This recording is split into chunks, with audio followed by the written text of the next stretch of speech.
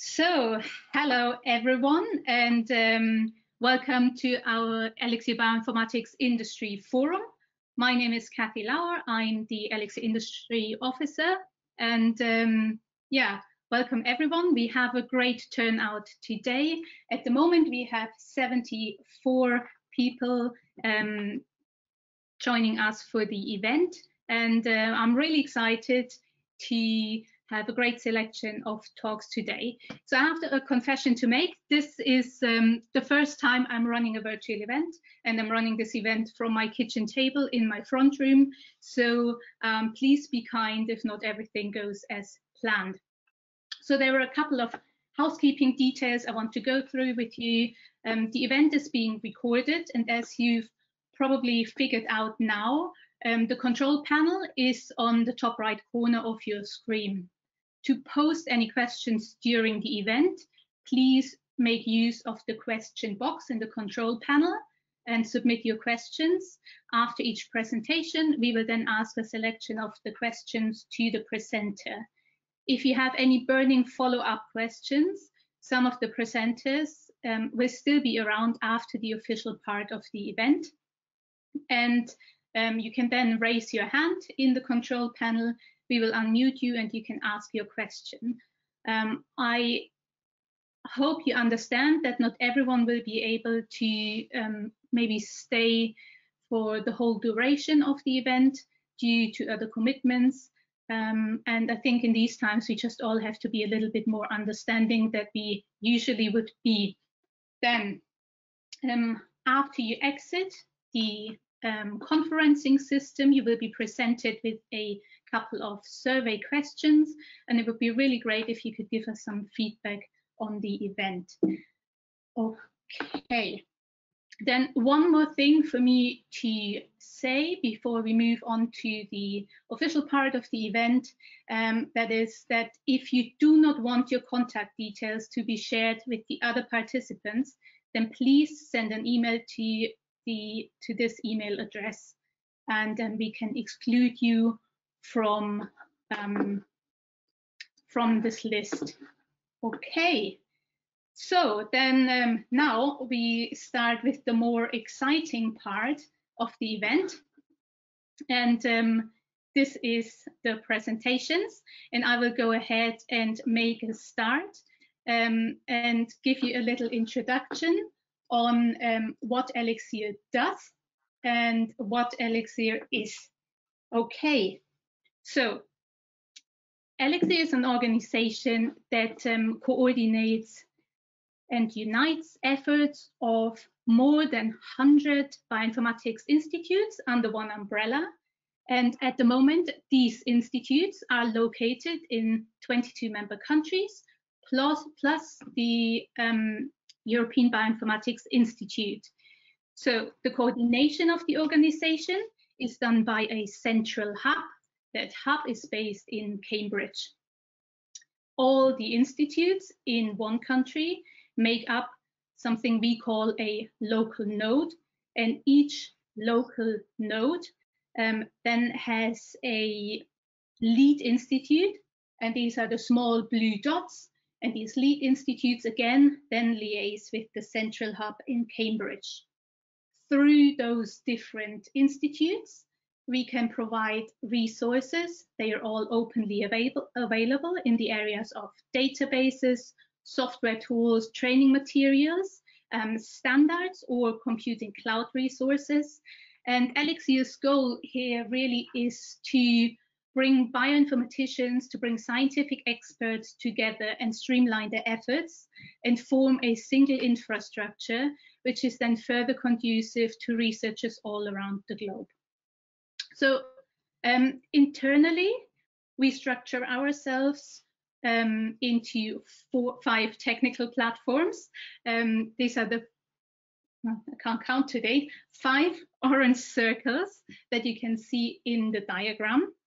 So that's compute, data interoperability, tools, and training. And um, these technical platforms liaise with specific life science communities um, around particular scientific domains such as plant sciences, for example, um, microbial biotechnology, or rare diseases. And these communities are also the places where external experts can contribute to Elixir.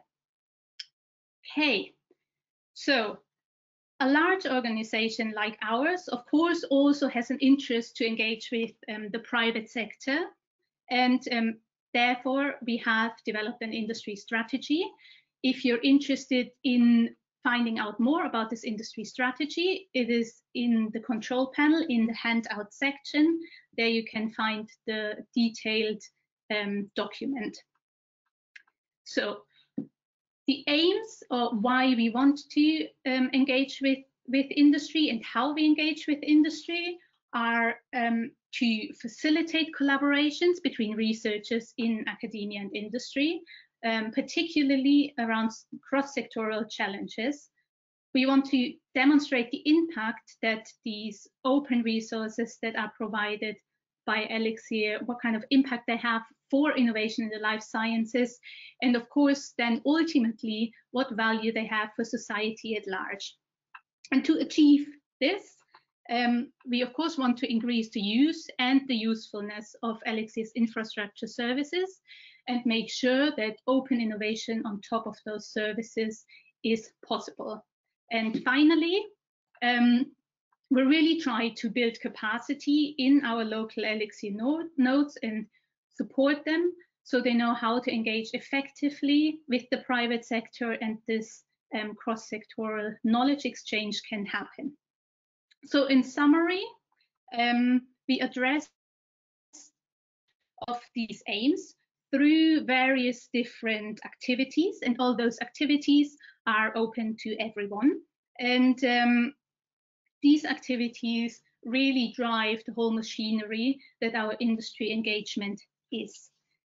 So now I'll give you um, some examples of those activities and I make a start with one of our flagship projects, the Elixir Biohackathon. The Elixir Biohackathon is a week-long event.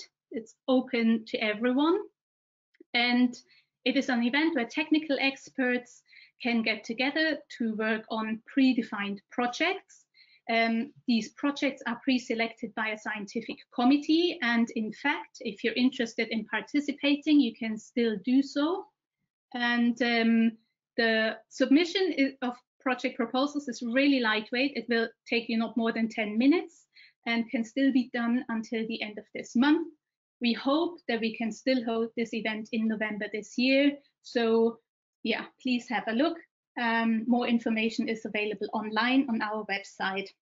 Then as part of our portfolio, we also offer a series of networking events. The Bioinformatics Industry Forum is one of these events. And particularly with this type of event, we want to build a community of bioinformaticians and technical experts that really get together and learn about visionary new ideas and um, discuss bottlenecks and solutions. And um, yeah, just really, we want to bring people together to move science forward. And on the slide, you can see a couple of pictures from previous events. Um, of course, this year we won't get um, one of those pictures, but um, it's an interesting challenge. And who knows, maybe in the future, um, we will move to more virtual events, depending on how this goes. Right, so um, this was my part and my introduction. Thank you very much. I will be around after the official part of the program and you can ask um, industry related questions or questions about Elixir then. And um, I will now hand over to my colleague Fotis. Fotis is based in our Greek node and um, I think in Thessaloniki. And I had a cheeky look at the weather in Thessaloniki, and it's a lot better than what the UK has to offer today. Fotis will talk about um, a new way in Elixir to tackle hot, hot topics in a fast and agile way. Um, so this is something we call focus groups.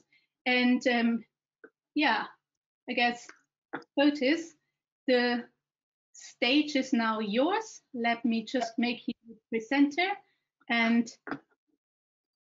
then you can go ahead telling us more about the machine learning focus group. Hi, um, thanks, Kathy. Um, I hope everyone can hear me fine. Uh, my apologies for not opening the um, my video. Uh, the, uh, the bandwidth is not as good as I had liked, and I want to make sure that this is a seamless experience for everyone joining this uh, virtual session. Uh, thank you also for the introduction. Uh, the weather is indeed great here in Thessaloniki, and um, I wish I could only enjoy it more to go outside. Um, it'll happen, I guess, soon enough. So um, again, as Kathy said, um, I am a researcher at the Institute of Applied Biosciences in Thessaloniki uh, in Greece, uh, also part of the Elixir Greek node. And um, the focus of this uh, short talk is going to be um, introducing the um, almost newly formed machine learning uh, focus group. Uh, just a quick outline of the timeline of this of this focus group. Um, it's uh, although there have been a lot of discussions around machine learning within the Elixir um, wider community for quite some time, uh, more focused discussions started um, about a year ago during the annual Elixir All Hands meeting uh, in Lisbon, uh, where we started um, getting more interest about pushing forward with uh, machine learning within uh, life sciences. Um, this initial idea sort of matured uh, around September um, uh, by effort of the Elixir Hub. Um, and um, sort of a first focus group came to be um, by the end of that month. Uh, incidentally, at the end of September 2019, there was a Nature Reviews uh, molecular cell biology article uh, from David Jones about setting the standards for machine learning biology, which was very fortunate because one of the um, points that was raised near the conclusion was that um, having an on-submission checklist for machine learning in um, in scientific papers may be a good starting point um, for a um, for looking into uh, within this focus group. So this led to uh, our first kickoff meeting uh, of the focus group in October. Since then, we had eight meetings, and um, around November, we also submitted a machine learning focus group for the for this um, year's all hands meeting that will happen uh, in June, again virtually. Uh, throughout these efforts, however, we also focused a lot on on, on this discussion from um, from this paper, and focusing a lot of doing uh, figuring out what the recommendations for machine learning could be. And this led to a very recent submission to Nature Methods in March, um, uh, with uh, with the title uh, of DOME and recommendations for machine learning and validation in biology.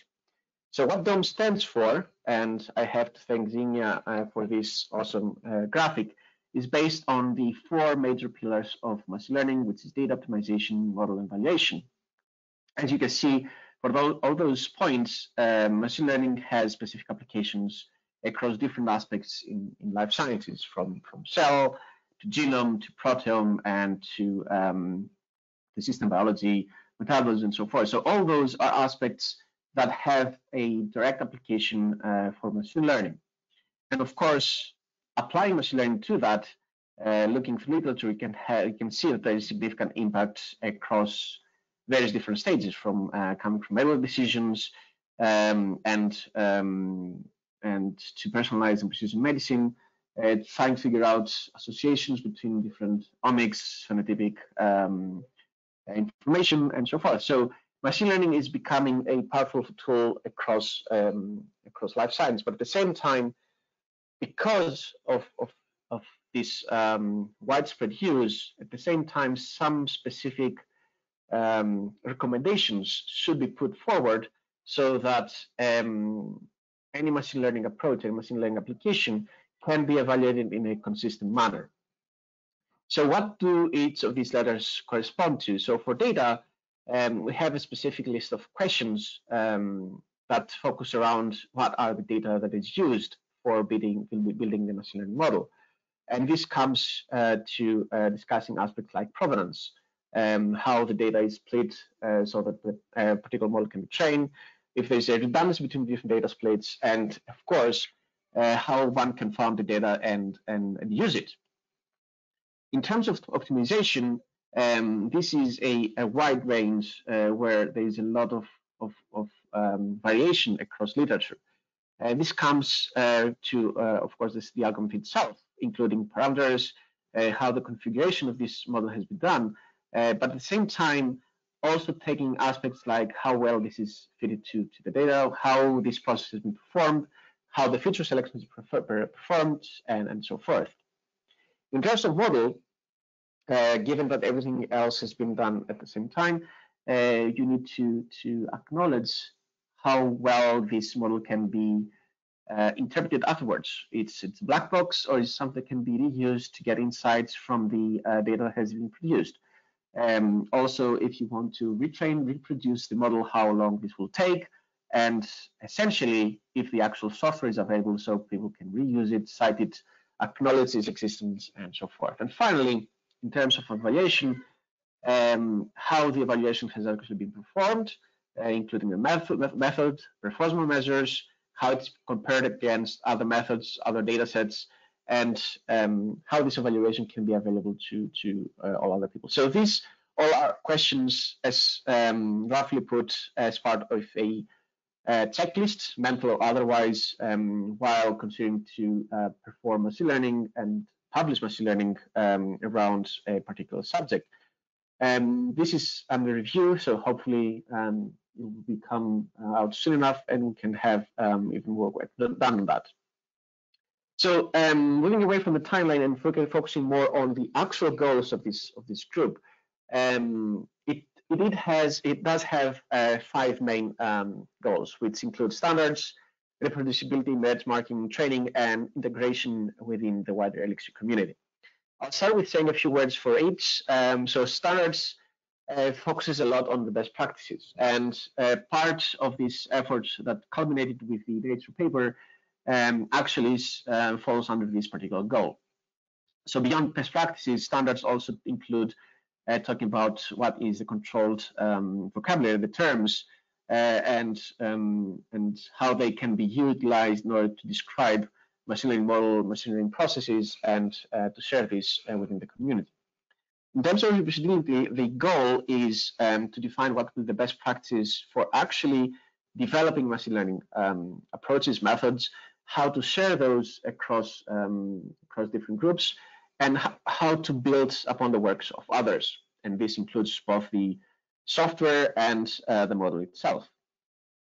Of course, having standards and reproducibility is one thing, but you also need to ensure that a machine learning uh, process uh, is tested, is evaluated against other uh, other situations. So here, one of the goals of this group is actually to establish also benchmarking, and these include uh, all aspects of the machine learning process, from um, how to have a gold standard in data, so against which someone can test the machine learning model, as well as um, in terms of the machine learning model itself, what would be the gold uh, standard in putting together uh, machine learning process, how to evaluate it, and so forth. Uh, the other two main points uh, of training integration, training is how to produce training material uh, for machine learning. This is an ongoing activity within the uh, within Elixir, also in collaboration with the training platform. And finally, the integration goal focuses a lot on how um, any insights, any uh, activities within this group can be extended throughout all um, existing and ongoing activities in Elixir. So uh, to the most interesting point, uh, how can anyone get involved? So uh, given that this is a focus group, uh, participation from outside the strict Elixir um, uh, community is, uh, is very encouraged. And there are two main ways one can get involved. So you can be an adopter or you can be a member. the main difference is that as an adopter, you get um, you can take the output of anything that comes out from uh, from this focus group and um, utilize it um, and basically rely on the high level quality produced within, um, within Elixir. As a member, uh, you can have a more active role within the uh, group itself, help shape those policies, recommendations, spec classes, and benchmarking protocols to ensure that this is um, aligned to uh, both uh, the interest of, of and the, the expertise that anyone can, can bring in. Um, so in terms of standards, the involvement, um, as I said, in, in, includes how to identify the metrics and how to define set of terms. In terms of reproducibility, what are the best practices to ensure that a machine learning process is fair, uh, as well as ensuring that uh, all practices for research software development and is um, adhered to, and therefore ensuring that this is widely adopted by the community and gets picked up. And benchmarking, as I said, how to define a clear benchmarking process, how to implement this, how to define, and most importantly, how to standardize this so it's it's um, it's widely used. So this is a, a, a very brief, hopefully um, useful outline of what the focus group is currently active on. As I said, this is a fairly new group. It started uh, less than a year ago, but as you can see, we we have um, moved quite fast along the way because of a huge interest in, in moving this forward. And we would love to have even more people join and have more um, interactions, more effects to that. Uh, I'll try to stick around uh, after the end of the um, of this uh, of the official end of the session, uh, but I'm more than happy um, to for people to reach out, join us into the um, into the focus group. The mailing list is open, and um, connect and work together. Thank you. Okay, thank you very much, Fotis, for your presentation. We um, had a couple of questions come in from the audience. So um, one question asked is, um, what will be the next steps for the DOME recommendations once they are published? All right, that is an excellent question. So the first um, the first point would be to see how these can be aligned to to metrics. Um, so the accommodations themselves are a form of a checklist, if you like. So there are two directions from then onwards. Of course, this is part of an ongoing discussion. Um, one way could be to um, have this as a formal checklist to be included in any machine learning process. Um, on the other side, uh, we can think of ways that um, these recommendations can be further defined into concise, measurable activities, actions that can then be constantly part of a metric system. I hope this is addressing the question somehow. Mm -hmm, yeah, and then um, another one that came in was if you are um, liaising with any other machine learning initiatives or groups around those recommendations and beyond the focus group. So, um, so for the time being, most of the discussions has been uh, within uh, the focus group, although we do have people from outside the strict Elixir community participating, actively participating to, to this. Uh, that being said, um, we do encourage people from any other community to join and provide their input and feedback on that. Um, it have discussing about standards and best practices in machine learning affecting life sciences is something often of an ongoing process and of wide interest. So having more voices chime in is is something that we definitely want. Great. So one more question, maybe. So there is um, from Sergio. Beyond publications, would the DOME guidelines be used in future patent applications of machine learning software? Right. So that's an excellent question. Um, we haven't really discussed this um, in terms of patenting the actual uh, guidelines, recommendations. However, it's definitely worth investigating how this can be further incorporated into activities of industry, um, which is uh, part of the first goal as well, how to define best practices and standards in machine learning. Okay, thank you. Then um, thank you again for your presentation. And um, I think we move on in the program now. Jen. Hi, can you hear me? Hi, I'm Jen Harrow. I'm the Tools Platform Coordinator. And um, it gives me a, a, great delight to introduce uh, Aiden Doherty as our keynote. Um, and, and while I introduce him, Kathy, if you can uh, set up Aiden's slides would be great. Um, Aidan is a senior research fellow at the University of Oxford and also group leader at the Big Data Institute, as well as an associated researcher at the Health uh, Data Research UK. His main research in, uh, interests are around developing reproducible computational methods to analyze data from wearable sensors and for large health studies to really understand the causes of disease. And so um, it's, it's really great to um, introduce him and he will be speaking about why we need reproducible machine learning to support trustworthy clinical insights. Aiden, please take it away. Um, so, so, so, thank you very much for the for the uh, invite in this, uh, uh and was was great uh, interest there. I, I really enjoyed uh, Fotis's presentation there too, just to find out what the Elixir community is doing around machine learning. And and today I'll present uh, I guess very much um, on the the health record side of things. So I'm uh, closely involved with Health Data Research UK, which is the uh, uh, has been set up as essentially the, the nation's uh, health data science uh, research institute. and we've got a, a, a, very keen interest in, in machine learning and particularly around reproducible machine learning to support trustworthy clinical insights. And to uh, give an outline over the next 25 minutes, first of all, I'll talk about why we've got an interest in machine learning uh, on the phenotype uh, uh side of things, uh, and then just introducing uh, why that we believe there's actually a pretty large unsolved problem around reproducible machine learning and, and, and the reproducibility crisis that is um, effervescent science is also very much prevalent uh, within uh, health data science as well.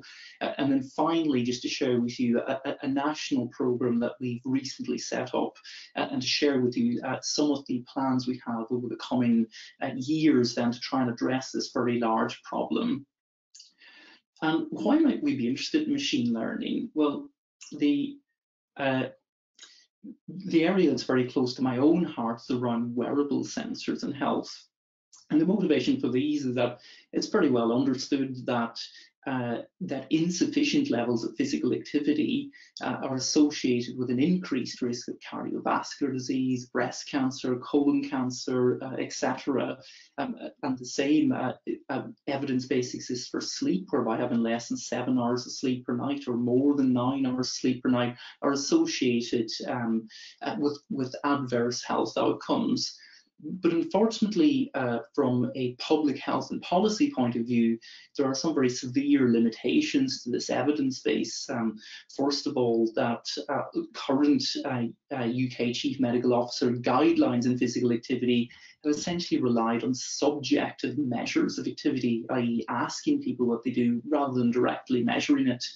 And these measures aren't just a little bit wrong, they're seriously wrong. Um, so, for example, as we can see in the slide on the left-hand side, uh, when trying to assess the amount of adults who meet physical activity guidelines, uh, when uh, when one asks people how much they do versus directly measuring it with a wearable sensor, uh, we get dramatically different uh, answers. Um, and uh, and of course, this begs the answer which of the two is correct, and there's uh, certainly no doubt that from uh, uh, from a range of studies that the wearable sensing devices give us a much closer answer to the underlying uh, true uh, measure of what one is doing in terms of their physical activity status.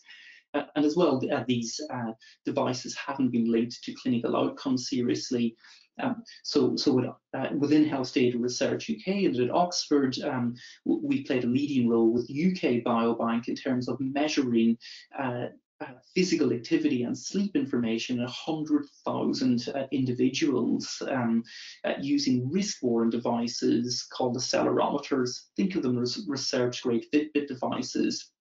And the beauty of this being part of the UK Biobank is there's a range of other uh, genotypic and phenotypic information on these individuals, and in addition, uh, linkage to clinical outcomes, which is the key thing that we're interested in.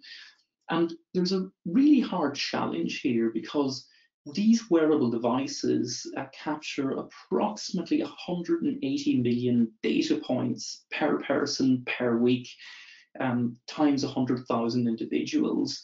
So there's a real uh, informatics challenge in terms of trying to identify from the movement traces from these devices as to be able to understand when a person is sitting versus walking versus running versus sleeping. Um, and, and it's in this regard that machine learning is very well suited uh, to help identify these um, uh, uh, very uh, very difficult patterns and trying to understand patterns and signatures from these to identify activity type.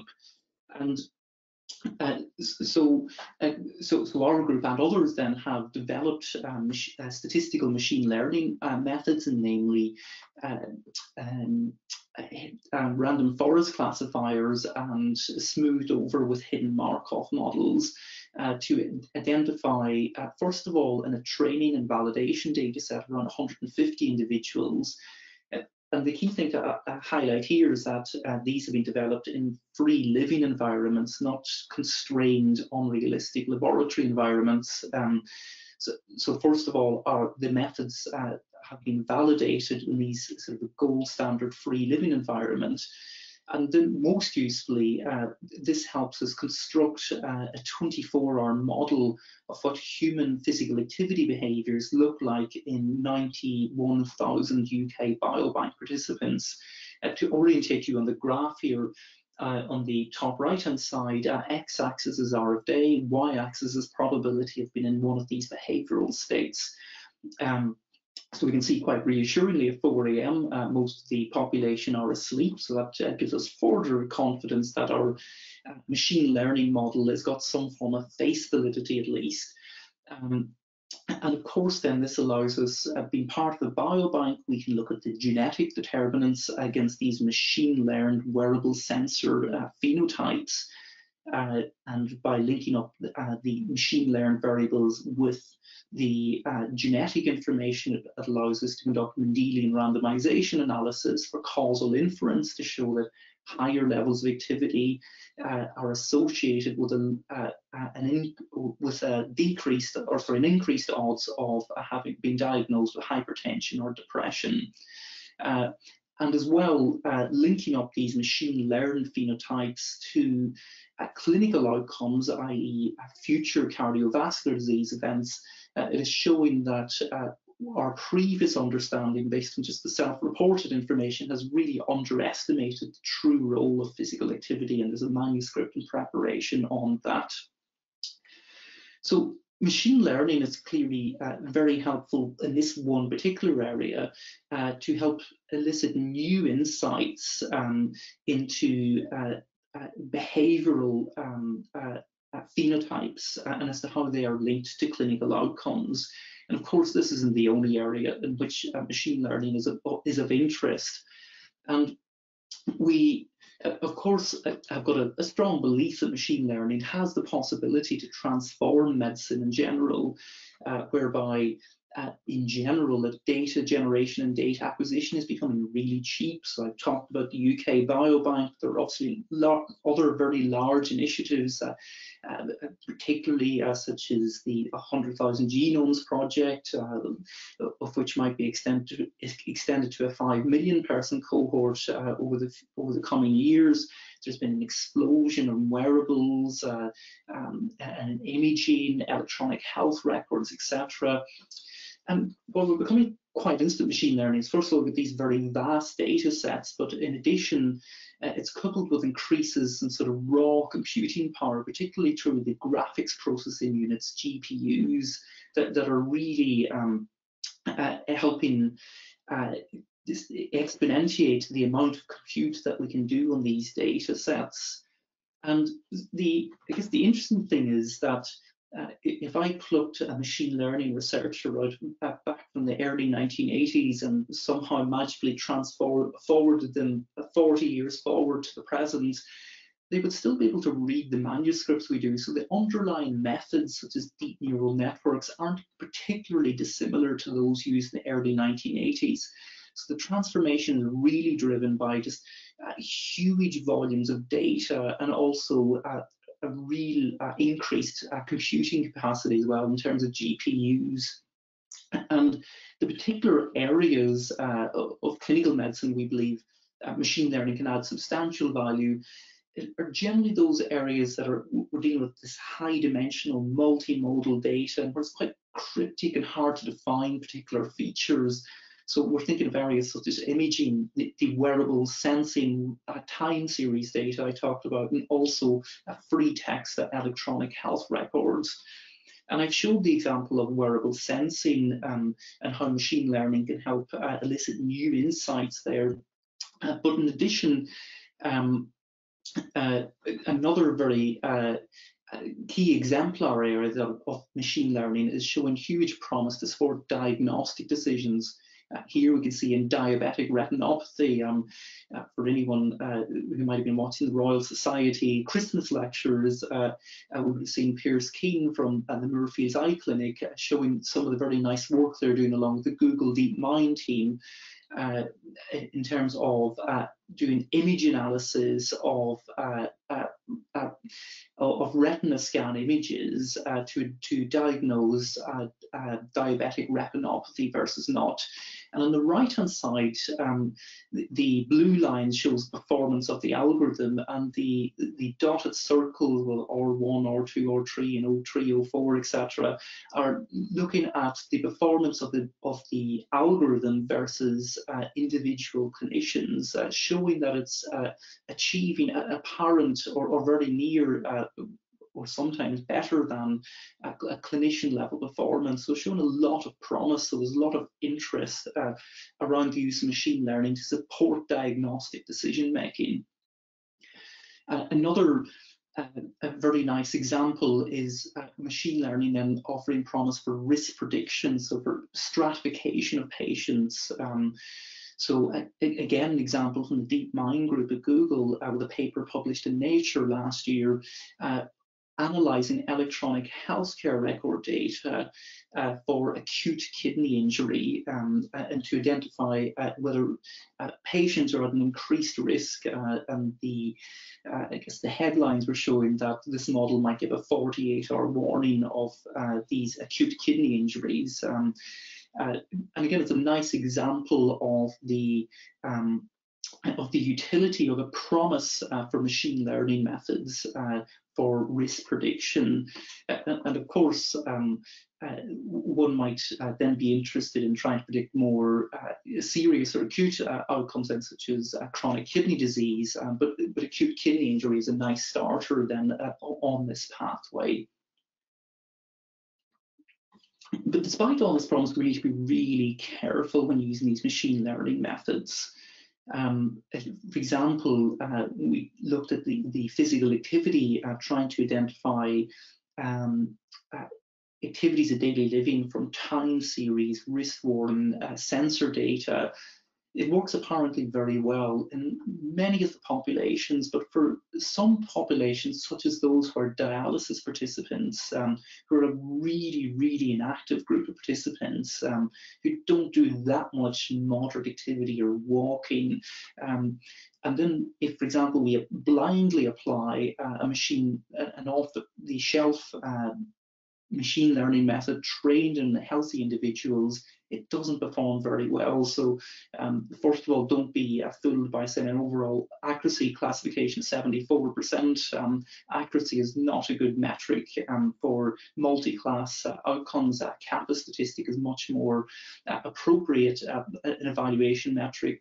And we can see here the machine learning method has been quite lazy and, and assigned people has been uh, over-assigned people into the sedentary class. So so, so, so the uh, it's important to train the, uh, these um, methods uh, in a diverse range of populations and then test them in those uh, diverse range of populations as well. And even more worrying for the image-based um, uh, machine learning uh, approaches is that if we introduce a very small amount of noise uh, into the images, it can uh, create some serious uh, prediction or, or, classification errors uh, in these methods.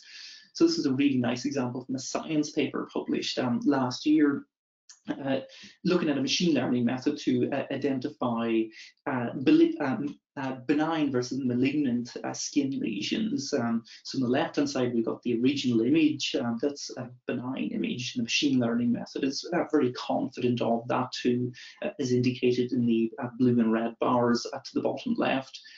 If one then introduces just a small bit of noise to that image. This is just a very small bit of random noise um, introduced into the image, uh, and, you, and to uh, also as humans comparing the image, the original image on the left and adversarial example on the right, uh, there's no noticeable uh, difference. Um, however, this perturbation uh, to the image uh, has for some reason then caused the machine learning method um, to suddenly be highly confident that this is now a malignant uh, um, skin lesion uh, and, and, therefore should be forwarded for further investigation.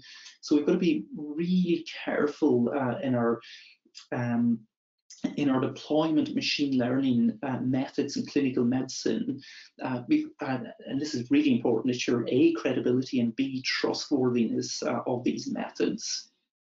Um, and, and, and, indeed, there's a broad concern around the, this lack of reproducibility, uh, replicability, and robustness in science. Um, for example, an openly used uh, uh, uh, intensive care database, the MIMIC database. Um, uh, there was an, uh, a nice paper recently published um, uh, that reviewed uh, the uses of this uh, publicly open database.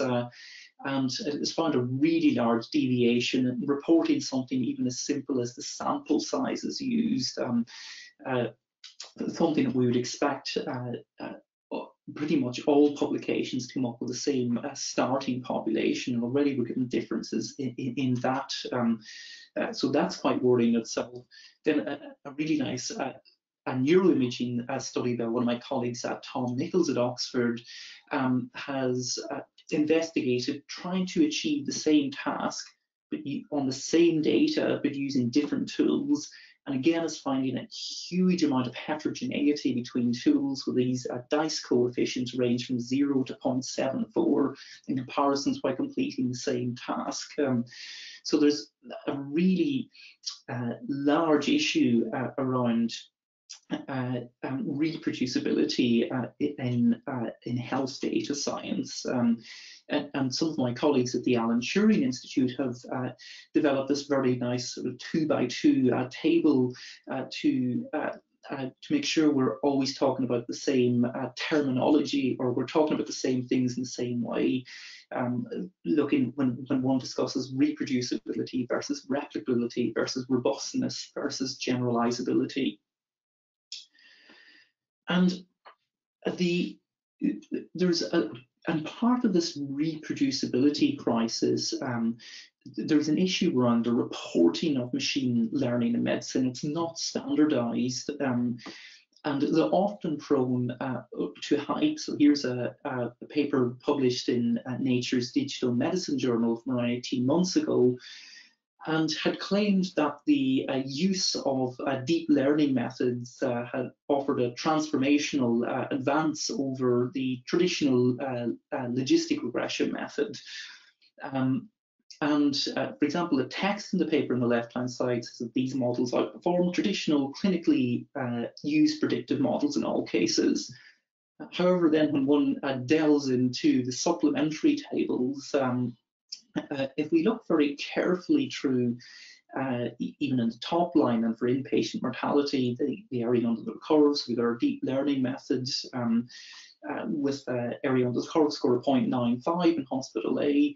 Uh, if we look just one line below, so this is uh, using uh, basically all the available features in a logistic regression, uh, we see whatever a, a hazard ratio or, or sort of an area under the curve of 0.93, and we look at the confidence intervals, they actually overlap. Um, so, so instead of uh, the authors here, I guess, uh, really promoting the use of deep learning, I think a more positive uh, um, view of this paper would be that if one does very careful uh, data pro, uh, pre-processing and curation, that it's possible then to use interpretable, interpretable methods such as logistic regression uh, to achieve a performance uh, equivalent uh, to the use of uh, um, hard uh, to interpret deep learning methods. Um, and this is why we, I think, really need standardized reporting of these methods uh, to provide some guidance to authors um, so that we can, can I guess, uh, fairly assess um, a scientific literature uh, for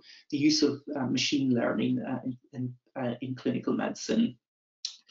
And as, as well as a large issue around data sharing that's uh, rarely done uh, uh, and very uh, and quite often restricted um, because to enable reproducibility we like to share not only code but also data in which to run that code um, often quite difficult in clinical medicine uh, but I think we need some solutions to this. And this is a very uh, interesting paper here that I'll not go into detail on just given the interests of time and in addition, many of my colleagues in Health Data Research UK, uh, when we're analysing data, we often do it in restricted safe haven environments, uh, whereby it's hard to use some of the uh, off-the-shelf tools that one might use, uh, immediately think of using for reproducibility.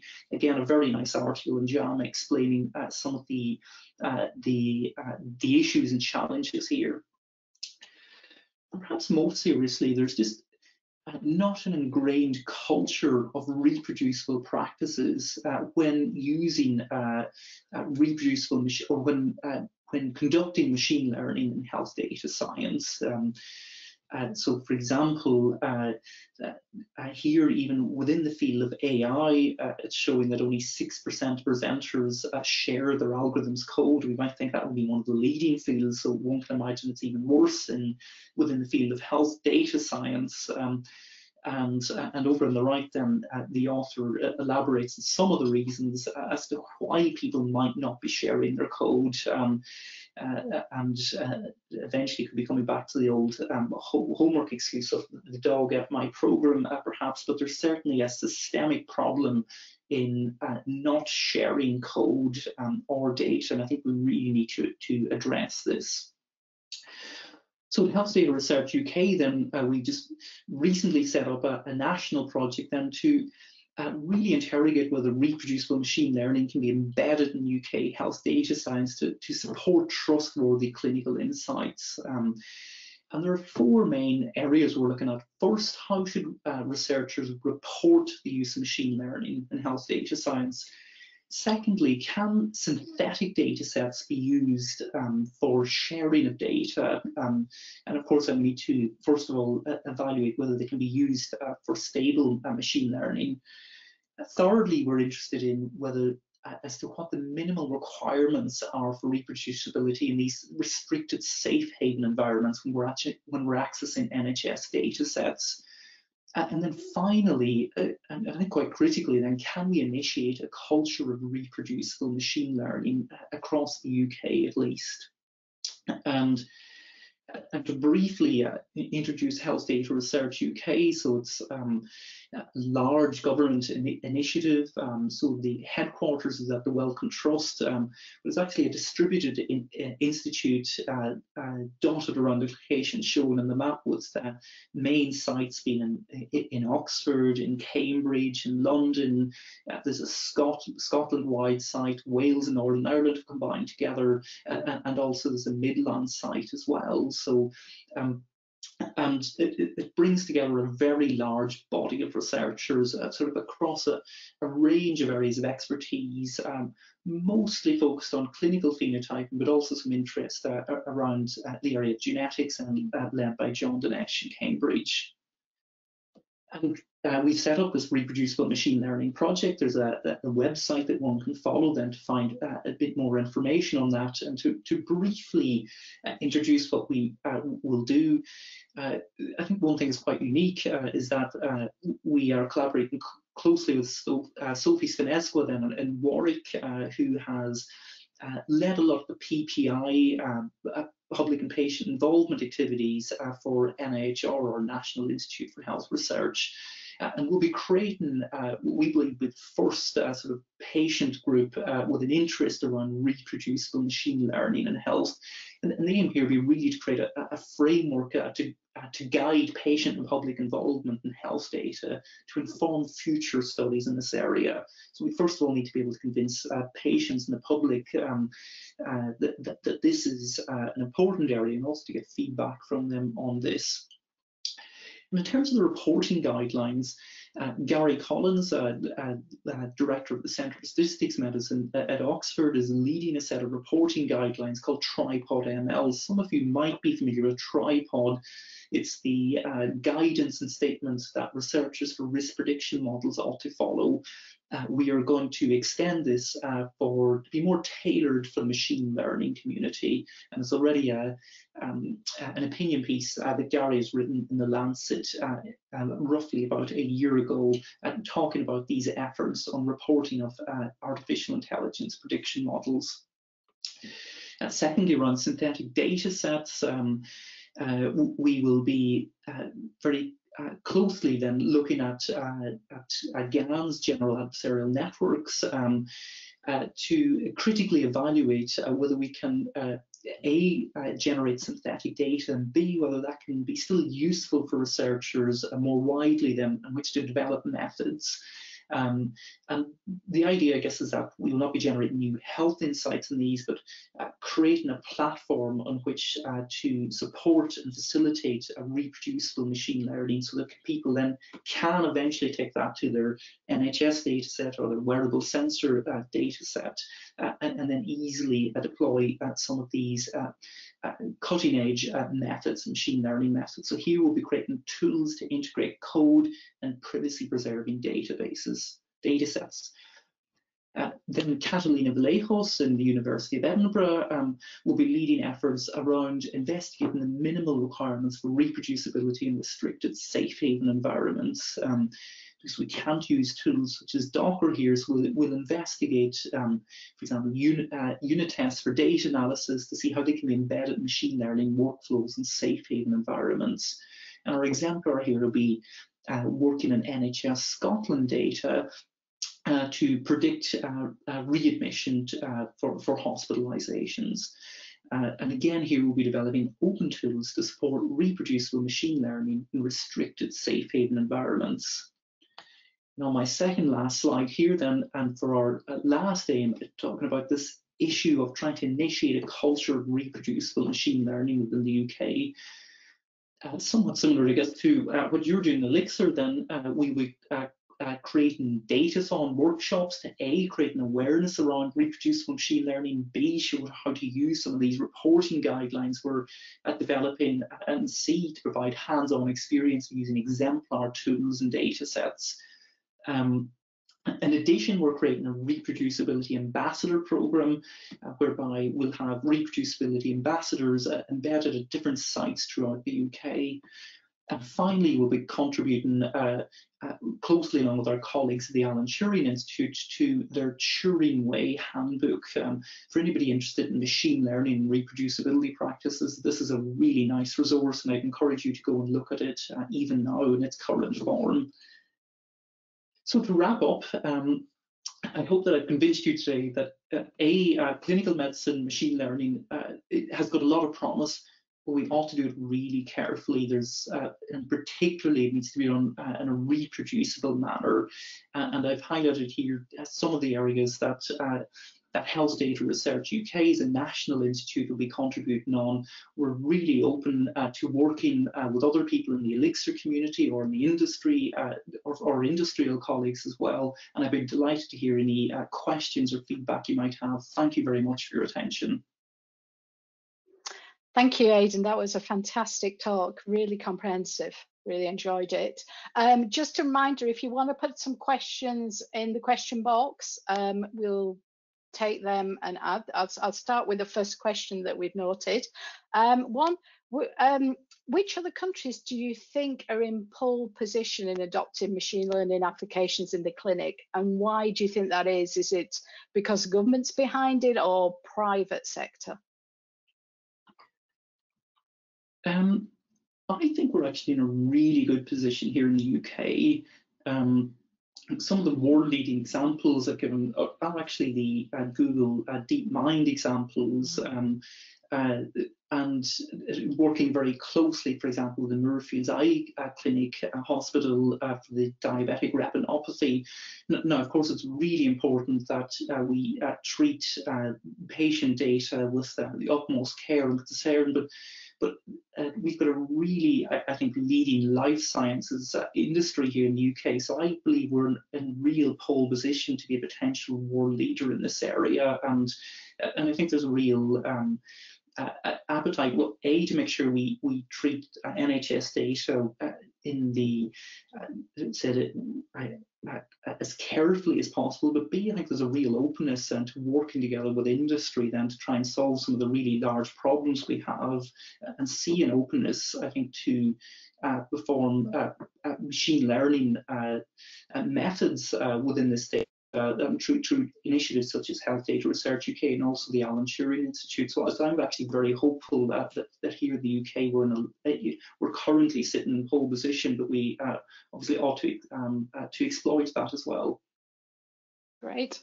Um, the second question: How do you think this is touching on kind of uh, code sharing? How do you think we could encourage code sharing within the health se sector? to encourage reproducibility, especially kind of on an elixir front as well?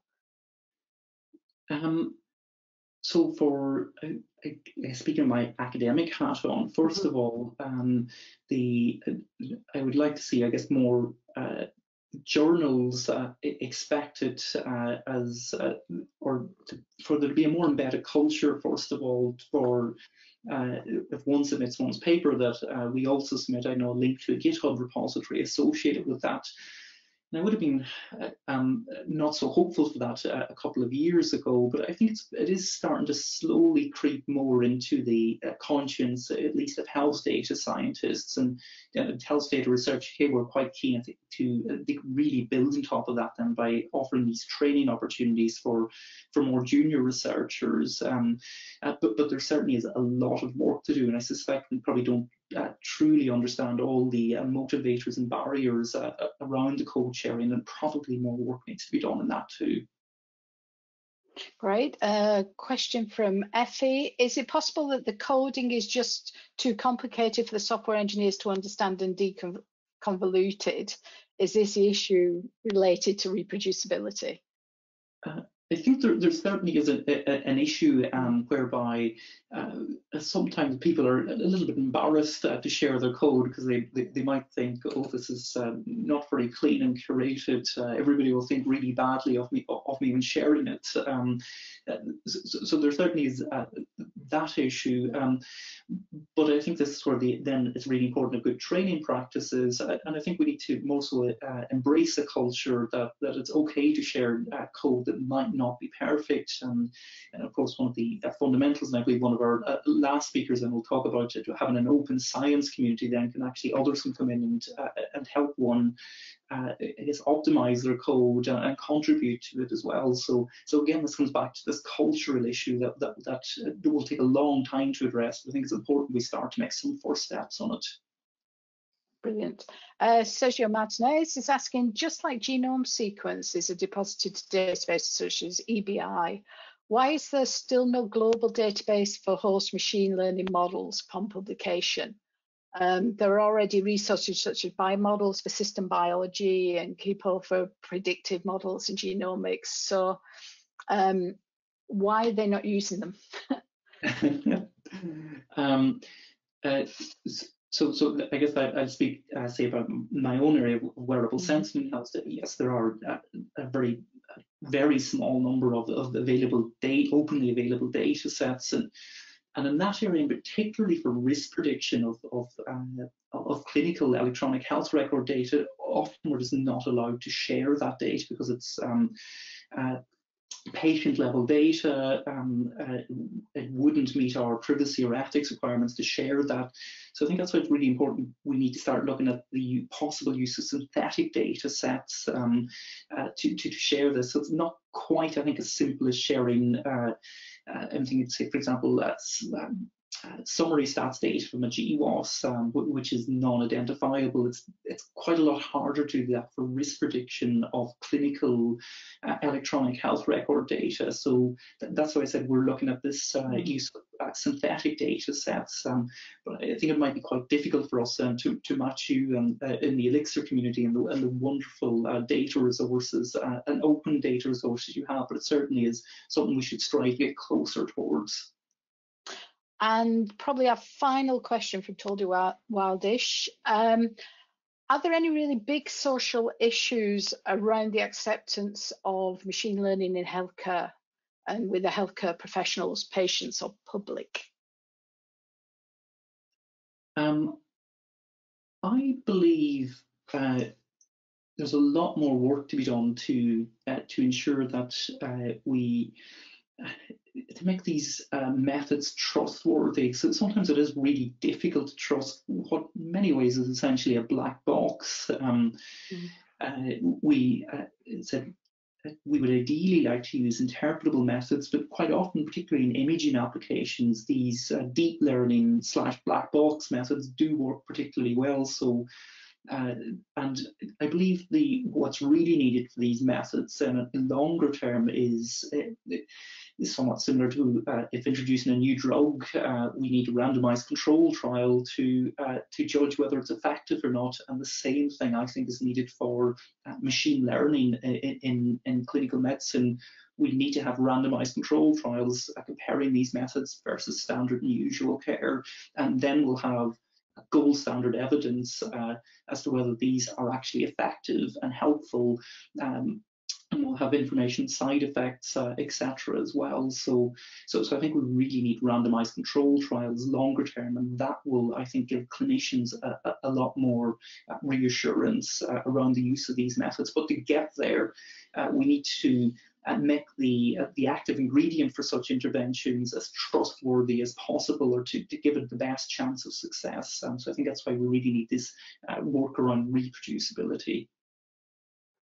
Thank you very much for the presentation, Aidan, and, and for a wonderful uh, discussion session at the, the end. And I'll pass over now back to Kathy. Thank you all. Thank you. Yeah, thank you, Jen. Um, so yeah, let's move on to our next session. So in this session, we have four talks, and um, it's my great pleasure to introduce Dr. Tom Whitehead. Tom is head of machine learning at Intelligence, a small company that is based here in Cambridge. Tom has a PhD in theoretical physics, and um, he will talk a little bit about the imputation of heterogeneous assay data using deep learning. And I have to say, I have heard Tom give talks before, and um, I don't think anyone has ever managed to um, to to make machine learning and deep learning um, presented in an understandable way to me. So he was the first person, and um, this is one of the reasons why I asked him to uh, give a presentation here because I think he's a wonderful presenter, and I'm very excited to hear talk. Tom. Thank you very much, Kathy. Well, not much to live up to there, but uh, hopefully, hopefully we'll manage the, the same today. Um, hopefully you can all see my screen. If you can't, hopefully someone will shout. Um, so yeah, my name's Tom. Uh, I'm the head of machine learning at Intelligence. Uh, as Kathy said, we're a spin out um, based in Cambridge in the UK, uh, focusing on using machine learning to approach high value data uh, problems in multiple different domains. But today I'll be focusing on an application uh, in drug discovery using some heterogeneous assay data. So the project that, uh, that I'll be describing very briefly the results of um, was an application of our deep learning technology to some uh, drug discovery data from our collaborator, which in this case was uh, Takeda Oncology, based in uh, Boston in the States. And what the aim of this project was to do was to take a large chunk of their corporate collection. Uh, so three quarters of a million compounds and over a thousand uh, assay endpoints and attempt to model this data. Effectively come up with uh, a model that would be able to be used internally by Takeda's scientists to predict uh, is this new compound likely to be active in this endpoint or is this existing compound that we've already got, uh, might it uh, be able to be active in a, in a different endpoint that's not yet been measured. So this project was broken down into three steps, three stages. Um, we looked at some project optimization. So this was looking at project data sets, project specific data sets, uh, prospectively validating the model.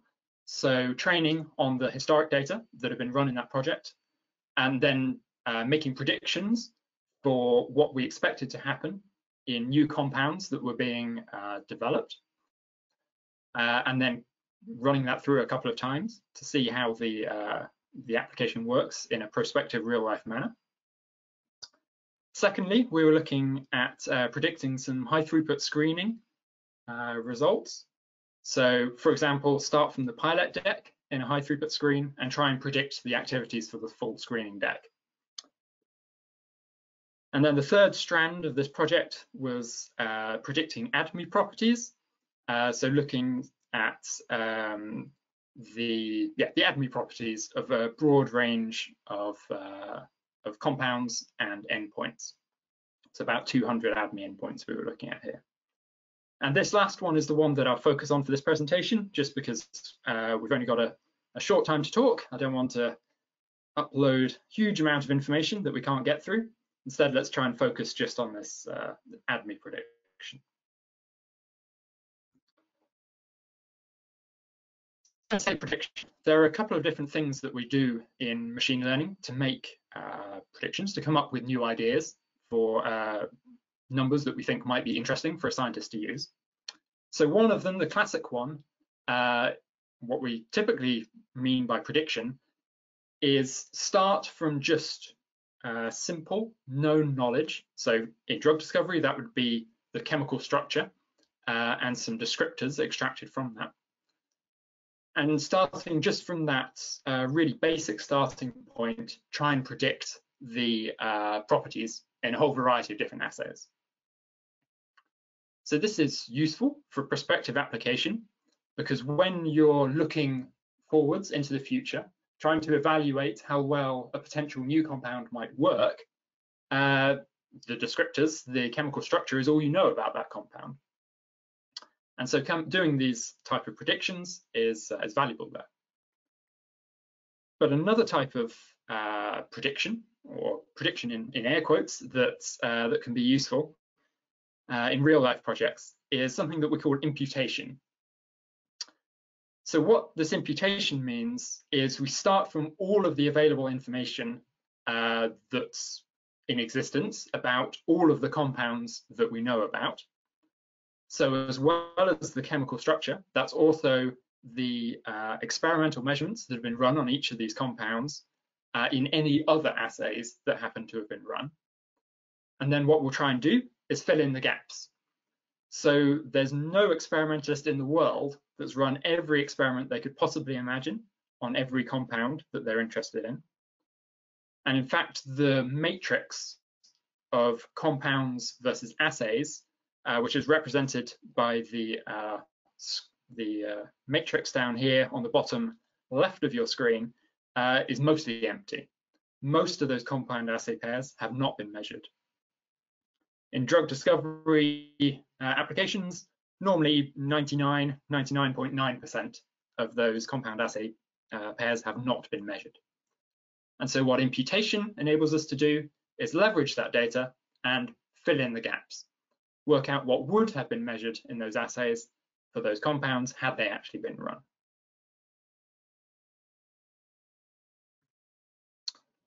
So how we test these things, um, as we heard in the past talk, uh, how to test and how to validate these methods is, is very important.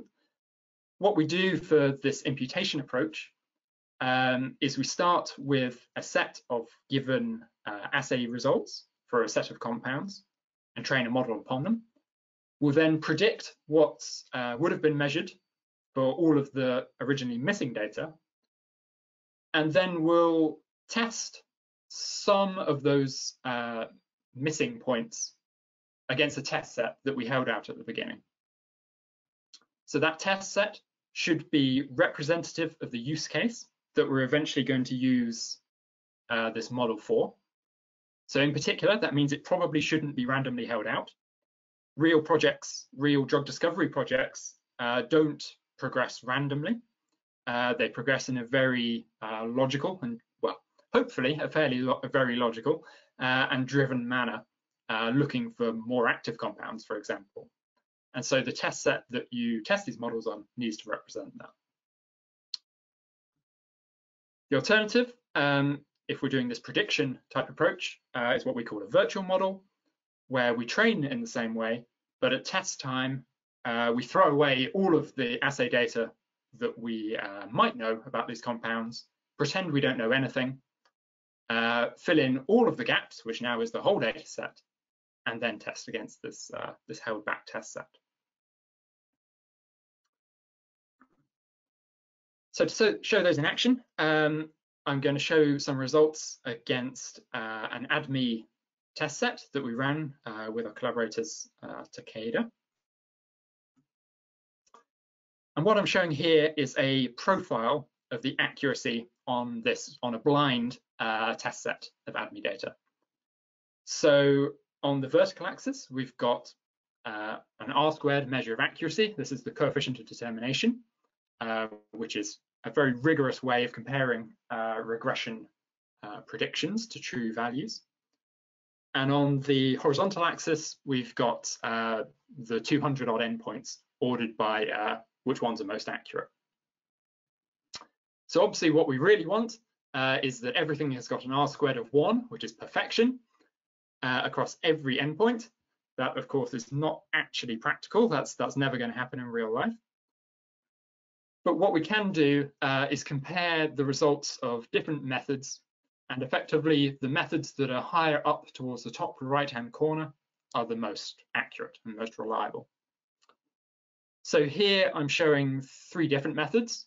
Uh, in orange, we've got uh, standard random forest off-the-shelf uh, machine learning approach, which gets reasonable results for some of the assays but the average, the median average uh, R squared is about 0.2, which is not very reliable and wouldn't really want to be taken forwards to make decisions on. In dark blue then, uh, I've got a virtual model. So this is doing prediction, as I described on a, a slide a couple of slides back, uh, using IntelliGenS's uh, Alchemite technique. And then in light blue, uh, I've got an imputation version testing against the same data set. And what we can see here is that imputation, because it leverages more information, it uses assay data where it's available at test time to fill in the gaps rather than uh, working blindly off just the chemical structure. That enables more accurate predictions uh, on average and in general. We can see there's not a massive difference. Uh, in particular, the uh, virtual prediction and the imputation prediction are pretty similar uh, for most of the endpoints. And this is um, a uh, partly a product of the way this ADME test set was constructed. As I say, it's got to look realistic, which means it needs to feature um, compounds that have been seen less uh, in the training set, uh, as those are more like the things one would see in real life. We can um, dive down a little bit more into these results though and see a couple of interesting uh, facts. So there were several different types of endpoint, different types of assay had been run in this uh, data set. So on the left, we've got some EC50 endpoints. These are cell-based assays, complex assays. And on the right, we've got some IC50 assays, which are uh, more simple, uh, simple assays, not cell-based. And what we can see is that the imputation and the more complex Alchemite approach, uh, more involved Alchemite approach, give a higher benefit over the standard off-the-shelf machine learning uh, in the EC50 more complex data situation. The reason for this uh, is that these cell-based assays are a lot more complex than uh, just protein assays. There are a lot more factors that go into the activity of a compound in an EC50 uh, test. And the imputation approach in particular, because it's been able to learn those relationships directly, because it's been able to leverage the information about disparate assays uh, and use it where it's available to help make guide the predictions uh, on a new compound, it's able to do better than a random forest machine learning approach, which isn't able to leverage that information. In contrast, for the IC50s, uh, where it's a relatively simple um, structure activity relationship that we're trying to capture, uh, there's less of an advantage to using these other endpoints uh, at the same time. So one other thing it's uh, vital to have to enable reproducible and uh, reliable uh, machine learning results is an understanding of the accuracy and the confidence in each prediction. So what we need is that uh, we're able to identify which predictions are incorrect and throw them away before someone makes a decision based on that prediction. So what our approach does um, is it outputs a confidence interval for each uh, prediction. And what we can do, and the graph on the left here, um, is take uh, effectively order the data points by confidence. So starting on the right with all of the um, predictions, we get a certain level of accuracy. And then we can start discarding those uh, predictions that we're less confident in. There's no point using a prediction if it's wrong. And if we know it might be wrong, we might as well throw it away and uh, just focus on those that, that are, we are confident in and are more likely to be correct.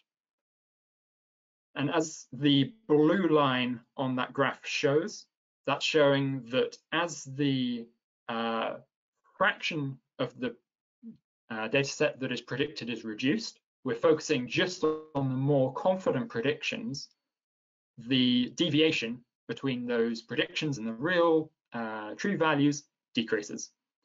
And so these error bars are an accurate representation of the uh, accuracy of the model. And we can see, uh, just this, as an aside, that the horizontal orange bar means that standard random forest predictions uh, are not giving accurate confidence intervals for this data set, uh, which is probably due to the data set distribution, but I'd be happy to go into that. So just to sum up very quickly, um, multi-target imputation and virtual prediction models are outperforming standard uh, machine learning off-the-shelf machine learning approaches. Imputation in particular utilizes more information and so enables more accurate predictions. And the use of confidence intervals and confidence estimates for each uh, prediction enables you to identify the most accurate values and uh, prioritize experimental resources on the uh, predictions that we're most confident in.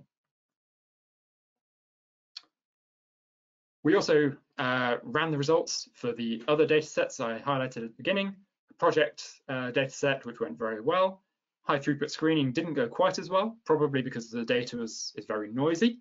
Is anyone familiar with high throughput screening will, uh, will attest to. Um, but that's about all I've got time for now, I think. Uh, the full breakdown of these results going into a lot more detail. Um, I'll be giving a webinar, another webinar uh, in collaboration with Optibrium on the 26th of May. Uh, so I'd hope to see you there if you're interested uh, in any of this. But otherwise, I'd be very happy to take some uh, some questions now. Okay, thank you very much, Tom, for your talk. And um, I just jump straight in, straight in into the questions. So Mamta Singh asks if it's necessary to make a data set of compounds from the same biological assay. Uh, so that's a great question. So one of the things we've looked at uh, in other work um, is whether it's important to make a uh, data set for different uh, chemical spaces or whether we can make one big data set that puts all of the chemical spaces in together, whether doing that you lose any, um, any accuracy.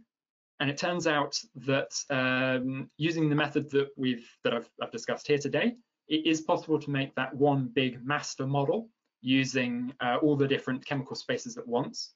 The reason for that is that where these uh, cross-assay correlations are available, um, the model will use them, but where they're not available, because uh, the particular measurements haven't been taken or there just are no correlations, the model is able to ignore them, and so you don't lose anything by building that one big model. Okay, thank you. And then one more quick question um, from Terry. Do you see benefits in enhancing your data set, say by running some or all of the 700,000 compounds through some of the assays, so you have an overall richer data set? Would you predict that it would be worth the investment? So that's another brilliant question. Um, so yes, we definitely do see benefit by getting more experimental data. But what we do also see is that it's not just the quantity of the data, but it's where you take it from.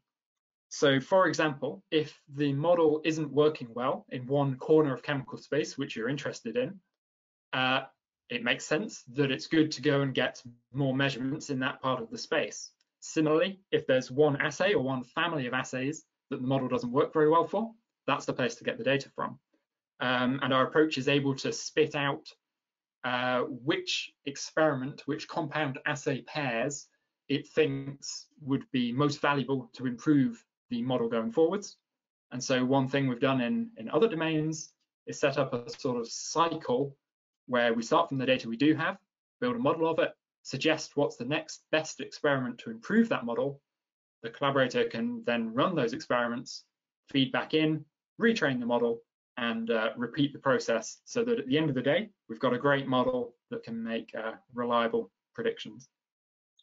Okay, thank you very much, Tom. Uh, great talk, and you will be around after the official part, so all other burning questions can be asked then later.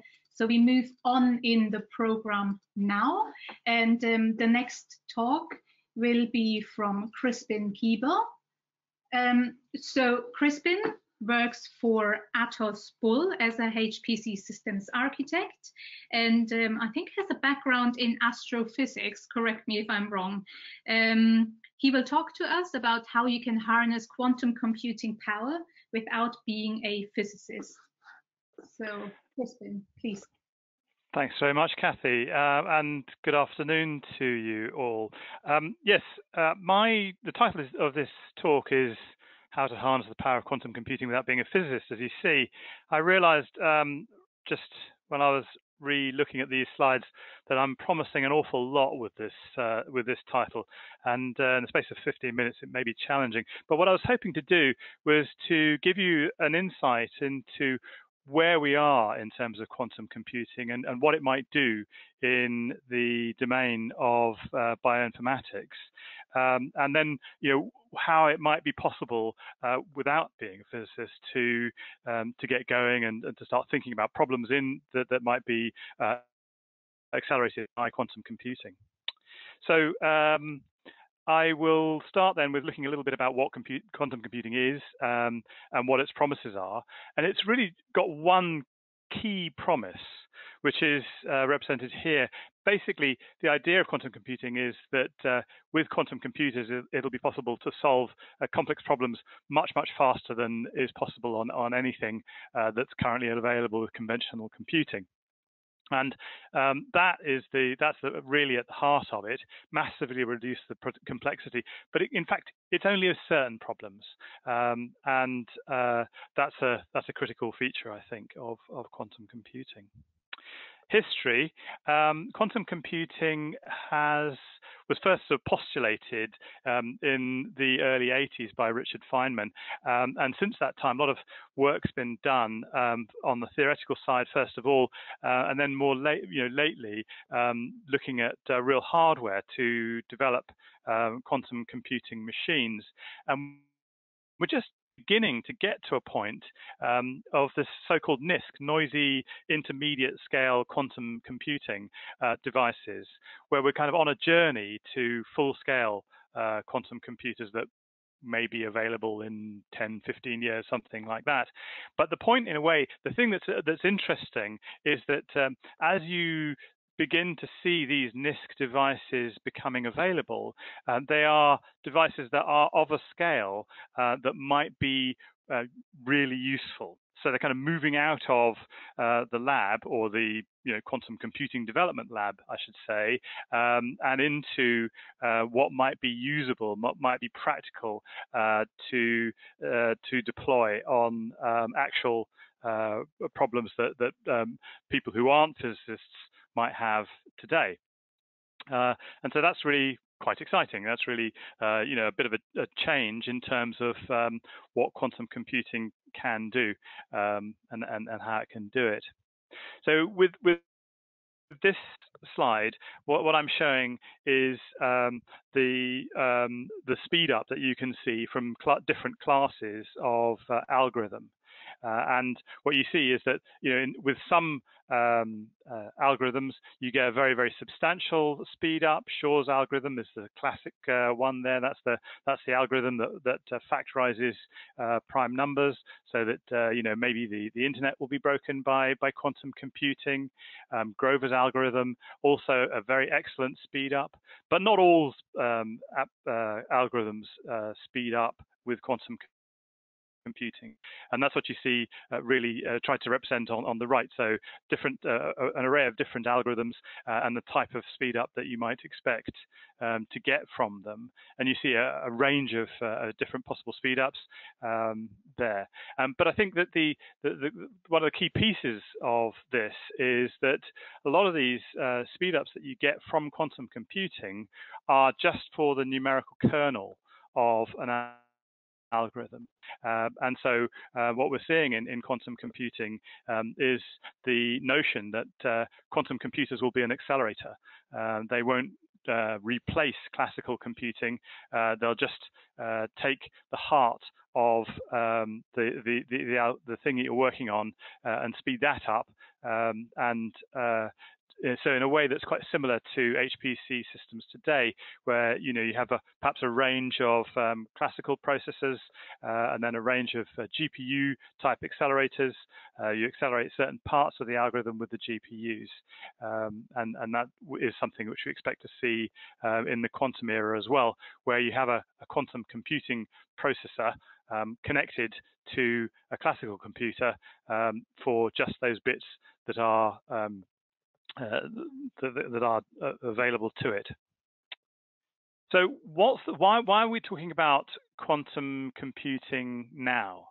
Um, in, in a time sort of just before really a few years before these NISQ devices are really kind of available in the mainstream. You've, you've probably seen uh, in the news, um, Google has talked about um, developing one, but they, they certainly aren't exactly mainstream. You can't go uh, to your local vendor uh, and, and buy um, a quantum computer. Um, the reason really is that quantum computing um, is different from uh, fr from programming uh, conventional computers. Uh, the concepts are quite different way in which they're programmed is quite different, uh, and the consequences of that is that, uh, quite a bit of thought, quite a bit of um, uh, reprogramming will need to be done um, into uh, uh, changing the way that uh, um, our programs behave to, to make, take use of quantum computing. But it's actually worth it because um, it's it, it, you they will get such great speed ups that you will, uh, um, uh, in lots and lots of areas, get a huge amount of uh, competitive advantage by um, by going onto a quantum computer. Just to go over a few of those. Um, in terms of health and life sciences, um, chemistry is a, is a sort of um, the kind of classic problem which uh, is susceptible to quantum computing. Uh, it's something which you simply can't do today uh, because the the uh, uh, the time to create an exact solution uh, for um, molecules as they grow bigger um, gets exponentially larger. Um, that is a problem that is tractable on quantum computers, um, and it's one of the easier areas of uh, deployment on on a quantum computer. Uh, so it's one where we expect to see um, good uh, speed ups really uh, very soon. So um, moving on, um, in terms of um, pharmaceutical uh, development, uh, protein folding uh, is another area where we expect to see um, a huge speed up in terms of getting the exact um, uh, uh, predictable for protein folding. Um, so again, an area where uh, we expect to see some really big advantages going forward. Um, and obviously, there are uh, very substantial benefits to be had from that in terms of uh, pharmaceutical uh, uh, development um, and, and so forth, as, as uh, listed here.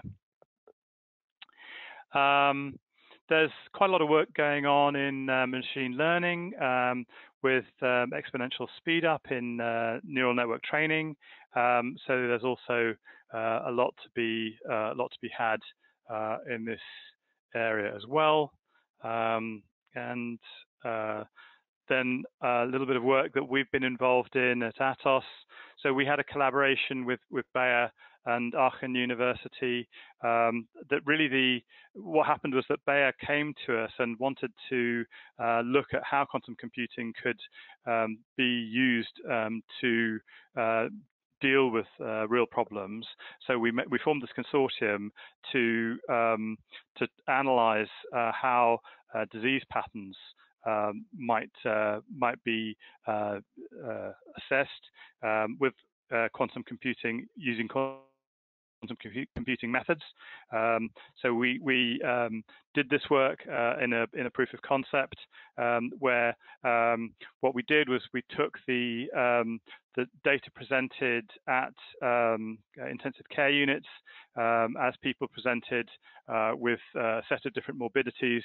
Uh, we used the quantum computed the quantum computing clustering to try to identify where those morbidities were actually um, clustered.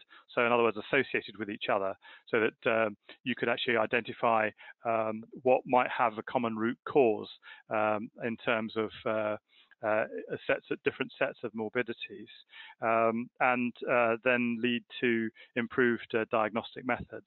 And what we found through this uh, work was um, that we, we were able to develop quantum algorithms that were uh, substantially faster than classical algorithms uh, to uh, to do this sort of sort of work. Um, and this is all uh, done uh, before uh, quantum computing is really available.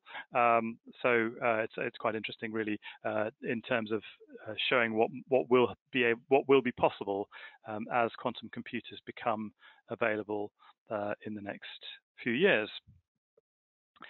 Um, so then uh, looking at uh, what else you might expect to see in terms of timing, uh, what this um, chart shows is is on uh, the x-axis, uh, you know, the length of time that it might take to uh, to get to a point of, of, of quantum advantage, um, and on the y-axis, how valuable that might be. Um, and so you can you can plot uh, a wide range of different uh, possible uh, algorithms onto a, onto a plot like this. Uh, and as I said uh, earlier on, um, the uh, the chemistry example is you get a, a, good benefit from that really quite quickly, um, um and the pharmaceutical example uh, might take a little bit longer, but nevertheless, uh, the, the, value of it will still be very, very high.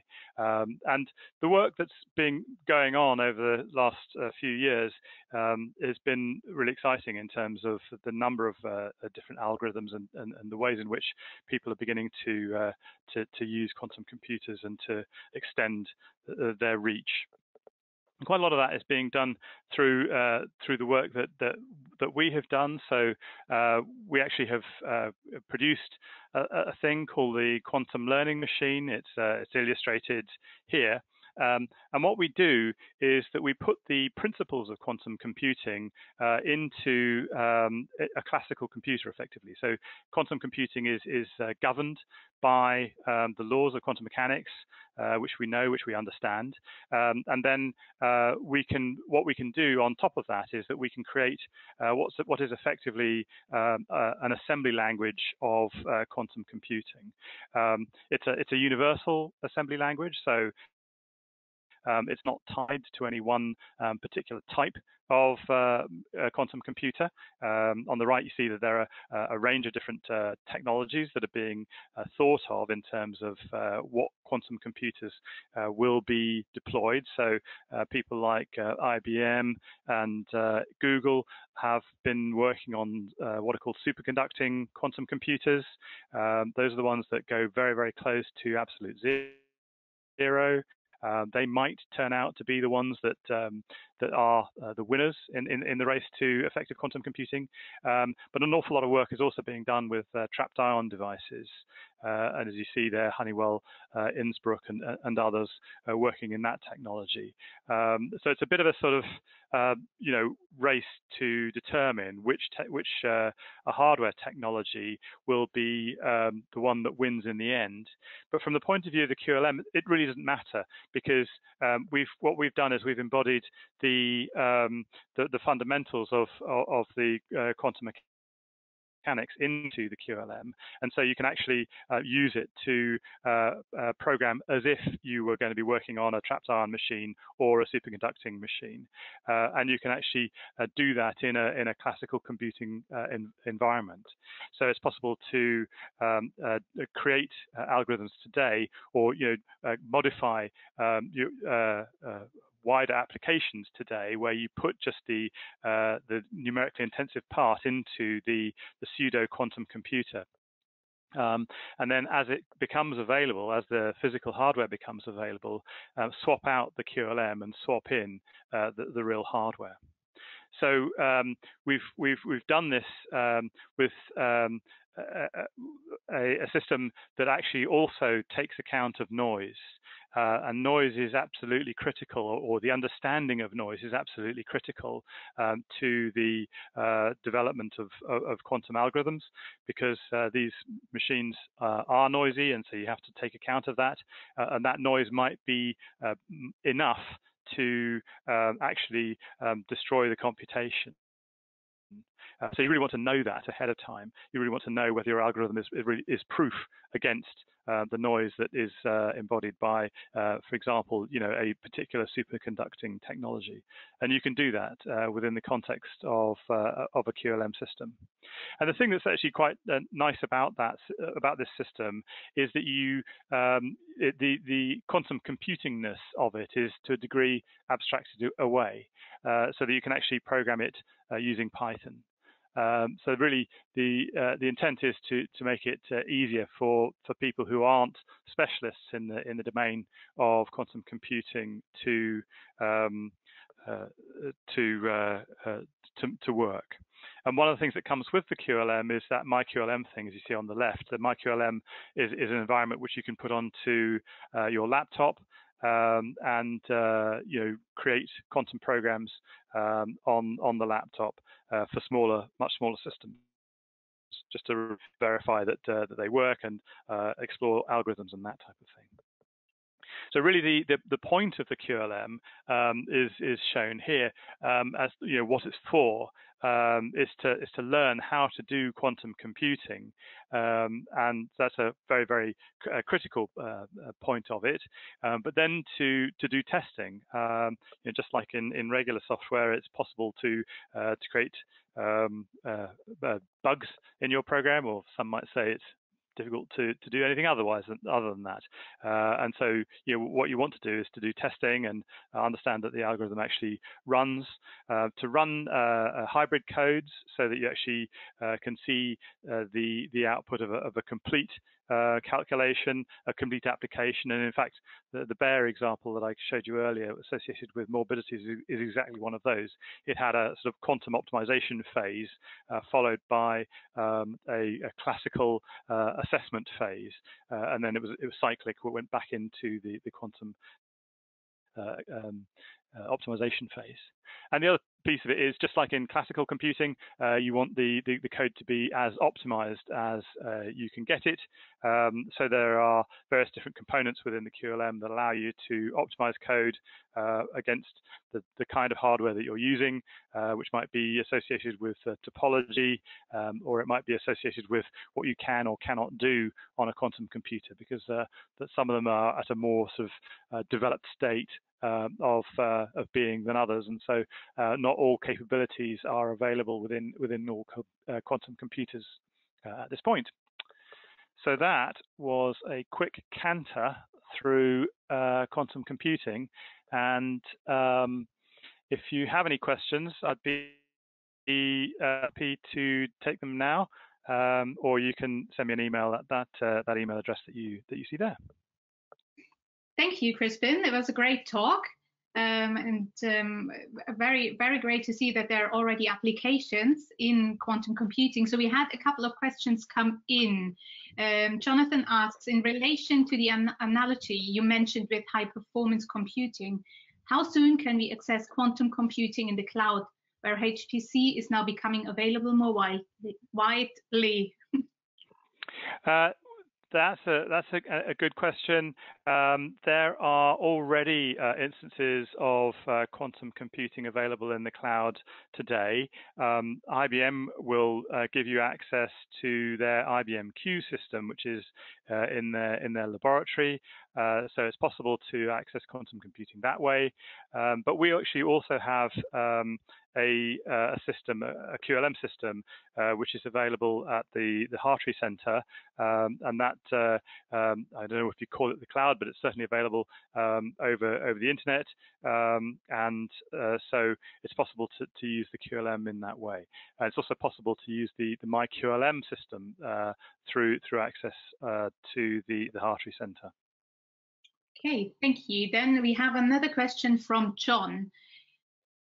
This is a question that applies to all new technologies, but is there a risk that problems that are tractable drive the questions that get asked?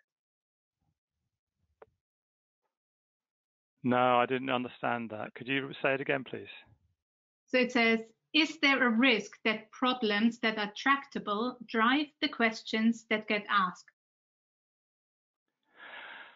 Uh, well, yes, um, I, I, think that's probably true. I mean, I think, you know, in terms of quantum computing, um, we've gone through a long, long phase of um, theoretical, of, of theory.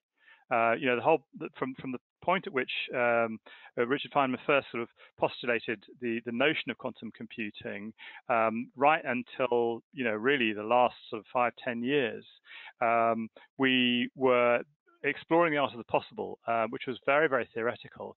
And so it was kind of out with, uh, you know, what actual problems uh, people were looking at. And it's only relatively recently that people have, have have seen enough have, have, gained enough confidence, I would say, um, in quantum computers that they've started to look um, much more uh, closely at what problems uh, should be um, tackled by quantum computers. And so it's really uh, in the, in this sort of later period, this latter period, where algorithms, you know, the the, the availability of algorithms has really um, exploded, I would say, um, uh, for uh, quantum computers as, as people are, are, beginning to see them as as real things. And and so you know, one of the things that um, I, I guess I would also say is that just like with with classical computing, um, you know, there's a, there's a sort of uh, universal theory of, of um, uh, uh, computing, um, the sort of Turing machine idea. Um, there's also a universal theory of quantum computing, um, which uh, has been developed in that sort of theoretical development period. Uh, and so you can see that, you know, the development of these systems has been done really little bit independent what they're being developed for. Mm -hmm. Okay, well, thank you for uh, answering the questions. And um, I think we need to move on to our next talk. So, um, Maria. Maria Garcia is based at the Bioinformatics Supercomputing Center in Barcelona, and um, she's an expert in computational architecture HPC, and HPC and um, she will show us the human heart through the eyes of a computer scientist. So um, the stage is yours, Maria. Thank you for the introduction. And the first thing I want to do is to thank the organizers for making this possible in these difficult times and making it go virtual. So yeah, today I'm going to talk about the heart, the human heart. And uh, are different ways of representing it, and I think all of us can still recognize a heart in some of this image. But today I want to show you how I can see a heart in an image like this. And uh, not only that, I hope that at the end of the presentation, you're uh, also able to see a bit of the beauty that I see in this kind of images, how everything fits together, the same kind of beauty that we see in the human heart that uh, it's able to make everything work. So first thing, I'll present the people that made this work possible. Uh, I know that this is usual the thing that is done at the end of the presentation, but for me, it's one of the most important things of this work, the, the different people that are involved. And uh, these are Bea and Alfonso. They are the ones that are able to write these equations that explain how the human heart works. He's Guillaume. He's able to translate those equations to code that can simulate a human heart in a supercomputer. And then it's me. I'm the one that is able to get traces and understand how this works in uh, supercomputing and explain uh, what is going on. So let me talk about the simulation first of all. We are going to simulate uh, the heartbeat of a human uh, heart. And this simulation includes different physics. On one side, we have the tissue of the heart. Here, there are two kinds of physics solved, the electrophysiology that simulates the electric impulse that keeps our heart beating, and the deformation of the tissue due to this impulse. Then on the other side, we have the blood that is filling the cavities of the heart. The blood is in the blood is compute the movement of the fluid due to the deformation of the tissue, and also the velocity and the pressure of that fluid experiments due to the deformation. So how we make all this happen, we use a code that is called Alya. Uh, Alya is a high performance computing code programmed in Fortran. It works with unstructured meshes and it's parallelized using MPI and OpenMP. We have also two meshes, one that represents the tissue of the heart. It has 500,000 elements and another one that represents the blood within the cavities of the heart and it has 400,000 elements. You can find all the details about this simulation, the physical uh, the details in this article that I reference here. So once we have, I have everything set up, how I get the traces. So I have Alya running, the meshes, and a supercomputing. I run everything together uh, the same way that a, a scientist will do for their experiments. And with Extrae, I'm able to get traces. Traces are the files that I where uh, keep all the information of what happened during this simulation. Passing these traces through the tools developed at POP, we obtain some, some performance indicators. These performance indicators are like the indicators that you get when you go through a blood analysis. They tell me where to look. I don't have a diagnostic yet, but they, I know where I have to look. With the help of Paraver, I'm able to find things and look at what's going on in the traces. When I'm look at this is when I'm able to make a diagnosis based on what I have found out with Paraver. So here you can see your first trace. In a trace, the x-axis represents the time. The y-axis, each line represents an MPI process. And the color can mean different things. In each trace, you need to know what the color means. In this one, it means which MPI call is being executed and in gray, it's the computing. So usually when we start um, an analysis, the first thing that we do is to find the interesting part that we want to analyze, what we call the focus of analysis. Usually applications have an initialization, a finalization, and an iterative part in the middle. So if we can find that iterative part, we can focus in two or three uh, iterations in this trace here, we can see clearly that there's an initialization, and then we can see three steps. So we select one of these steps as our focus of analysis to analyze. So, okay, but Marta, where is the heart? So instead that the, to simulate the heart, we have to simulate different physics. What I did is I mapped these physics to some colors on the trace. Now the color represents the physics that is being solved. In blue, you can see the solid mechanics code solving the displacement of the solid. In white, the electrophysiology. In pink, the mesh deformation of the fluid. And in red, the fluid dynamics computing the velocity and the pressure of the blood. The gray color, in this case represents when the different MPI processes are waiting for other processes to finish their computation. One of the first things that I do, the first sanity checks that I do when I get a trace, is to check the cycles per microsecond. This is like when you enter a doctor's consultation and one of the first things that they do is to measure the heart rate of the patients. Cycles per microsecond for me is like the heart rate of the application. Usually you expect cycles per microsecond to have a value close to the frequency of the processor where you are running. In this trace, the color in the, the bottom one, the color represents the cycles per microsecond at each moment in time.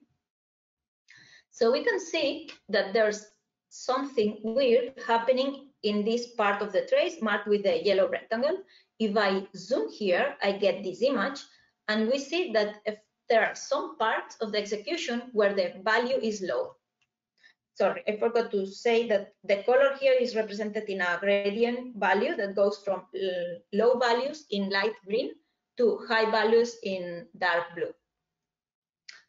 So looking at the code with the developers, we found that they were doing some allocation of large memory regions and initializing them. All the process, all the processes doing this uh, initialization at the same time was what was uh, making these low cycles per microsecond in these regions. So also we find out looking at the code that this initialization was not necessary. So we removed that initialization. I obtained uh, again the trace, and this is the second trace without the initialization. We can see that the green parts disappeared and the, everything was faster. Now let's look at the performance indicators that I obtained from the POP methodology. In this table, in the different columns, you can see the different number of MPI processes that we use, and the rows are the different indicators. Red color means that this is a limiting factor for this number of cores. Green means that you have a good efficiency, and yellow means that this can become a limiting factor when you try to scale to a higher number of cores. What I see here is that we have a very low parallel efficiency. Getting a 33 here means that only 33% of the time is used to actually do computation. The other time is waste due to the parallelization. I see also that there is a huge load imbalance. 40 40% uh, of the time is lost waiting to, for other processes that are more loaded. And I also see that we have a big serialization problem. Now that the performance indicators have told me where to look, I can open a trace and look for the imbalance. we can see that the tissue processes that are the top ones in blue are more loaded than the bottom ones. They have more work to do, and they are making all this time the um, the blood processes are waiting. Also, about the serialization, we can see this ping pong pattern here, where they are some of them are working and the others are waiting. This is a typical source of serialization inefficiency. This happens because the fluid must wait for the tissue deformation to finish to know how to compute the deformation of the fluid. And at the same time, the solid must wait for the pressure of the fluid to know how it affects the deformation of the solid. So now that I have looked at the traces, I have the diagnostic. The diagnostic says that the main problem is the serialization because the physics must wait for the other physics to be solved. This is a common issue in fluid structure interaction problems. Our recommendation to solve this is to allow processes to share resources, but in a smart way. We explain it how to do it in this article here. Uh, and uh, the other big problem is load balance because the processes solving the tissue are more loaded than the processes solving the blood. Our recommendation to address this problem would be maybe to redistribute the resources, for example, giving more processes to the tissue than to the fluid. Now, I let's look at, look at the efficiency metric, metrics obtained just by, for the tissue. I applied the same methodology, but only for the yellow rectangle marked here. So only for the processes that are uh, solving the tissue part. What we see now is that the indicators are much better. The only indicator with a low value is load balance. If we analyze the trace, I zoom here in the part that we are analyzing, and I get this image here, that's a zoom, and here I can see the MPI calls. Gray in this, in this case is computing, and color is that they are waiting in an MPI call. We can see that there's a huge load imbalance. Some processes have twice the work than others. And uh, after checking with the developers and analyzing also the partition of the mesh that we can, you can see here, the summary of the partition, how the heart was partitioned, we conclude that the difference can come from the fact that there are different kind of materials involved in the tissue of the heart and the simulation and the computation cost of these materials is different. That's what, what is giving the load imbalance in the computation. So, or the diagnostic is that the main uh, problem for the tissue is the load balance. And this is related to the nature of the problem because a different kind of materials have different computational costs. To address this, we suggest to try to partition the mesh based in the kind of material of the elements if possible, or to use a dynamic load balancing mechanism that you can find more details in other works that we have done uh, in this article here. Now I obtain the same performance indicators for blood that in this yellow rectangle that you see here. We, we can see that almost all of them are in green, except for the transfer efficiency. Almost 50% of the time is lost in communication, but load balance and serialization have good values. This means that the time spent in communication is not waiting or synchronizing, it's really doing communication. So let's analyze in detail the traces. I zoom in the part of the trace that we are analyzing, and I get this uh, in the MPI calls. We see a small part in gray, that is the part that is computing, and a lot of part in colors, that is the part that is communicating. So what I did is I measured the number of MPI calls of each type executed, and I find out that there is a very high number of point-to-point -point calls. Also, there is a high imbalance in the number of calls made by the different MPI processes, and that the transfer comes from having a high number of calls more than the amount of data exchanged. My conclusions for the blood is that the main problem it faces is the transfer due to the high number of MPI calls in special the MPI point-to-point -point calls.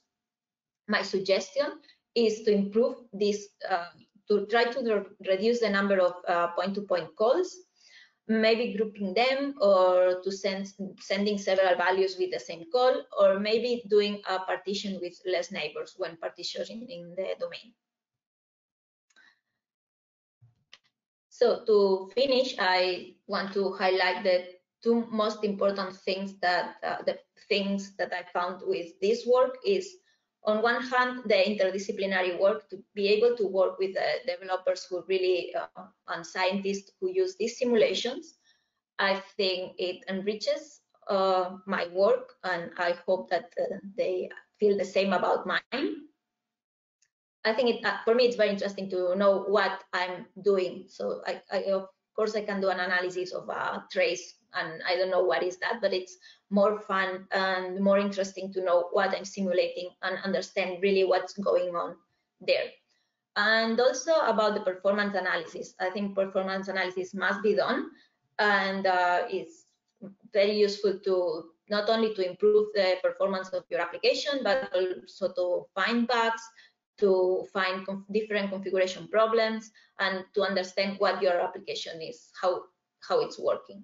All this, uh, it's done in the context of POP, that is a center of excellence uh, where we offer a service, different services. Uh, one of them is to analyze your application. Any user or developer from Europe can ask for an analysis of their application.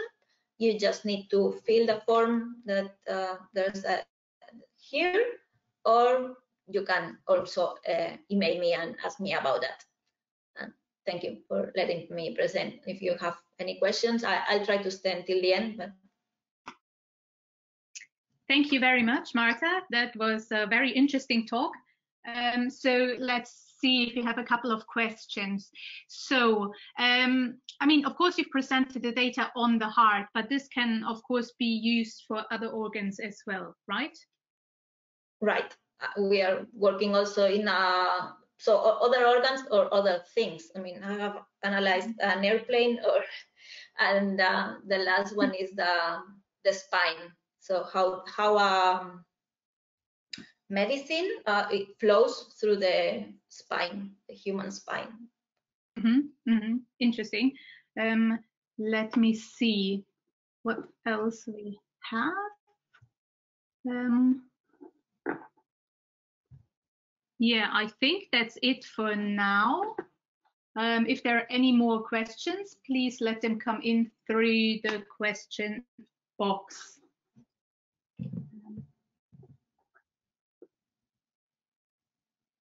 So actually, there is a question, another question. Yeah, um, and has it been discussed? Has POP been discussed in any of the Elixir communities? Are you aware of that? Uh, I'm not. I'm not sure. Uh, so I also presented uh, in an event where there were Elixir was involved, but I don't know if if it's uh, it has been discussed one to one. So I think it may be interesting. Okay. So do you also liaise um, with clinicians around your work, or is that too far removed at the moment from what you do? Yeah, they are quite. So I have in the middle, I have the developers of the the scientists that work with the application, and they are the ones that work with the doctors and uh, with and discuss with them. So I'm kind of far from, but just one hop, one hop from them. Okay, well then, thank you very much for your presentation, and um, we move on. Our next Thanks. speaker is um, is Charlotte Deane. Charlotte is the head of, of, the statistics department at the University of Oxford, and um, she will tell us a bit more about machine learning approaches to identify a predicted protein structure in the correct fold. Um, yeah, please, Charlotte.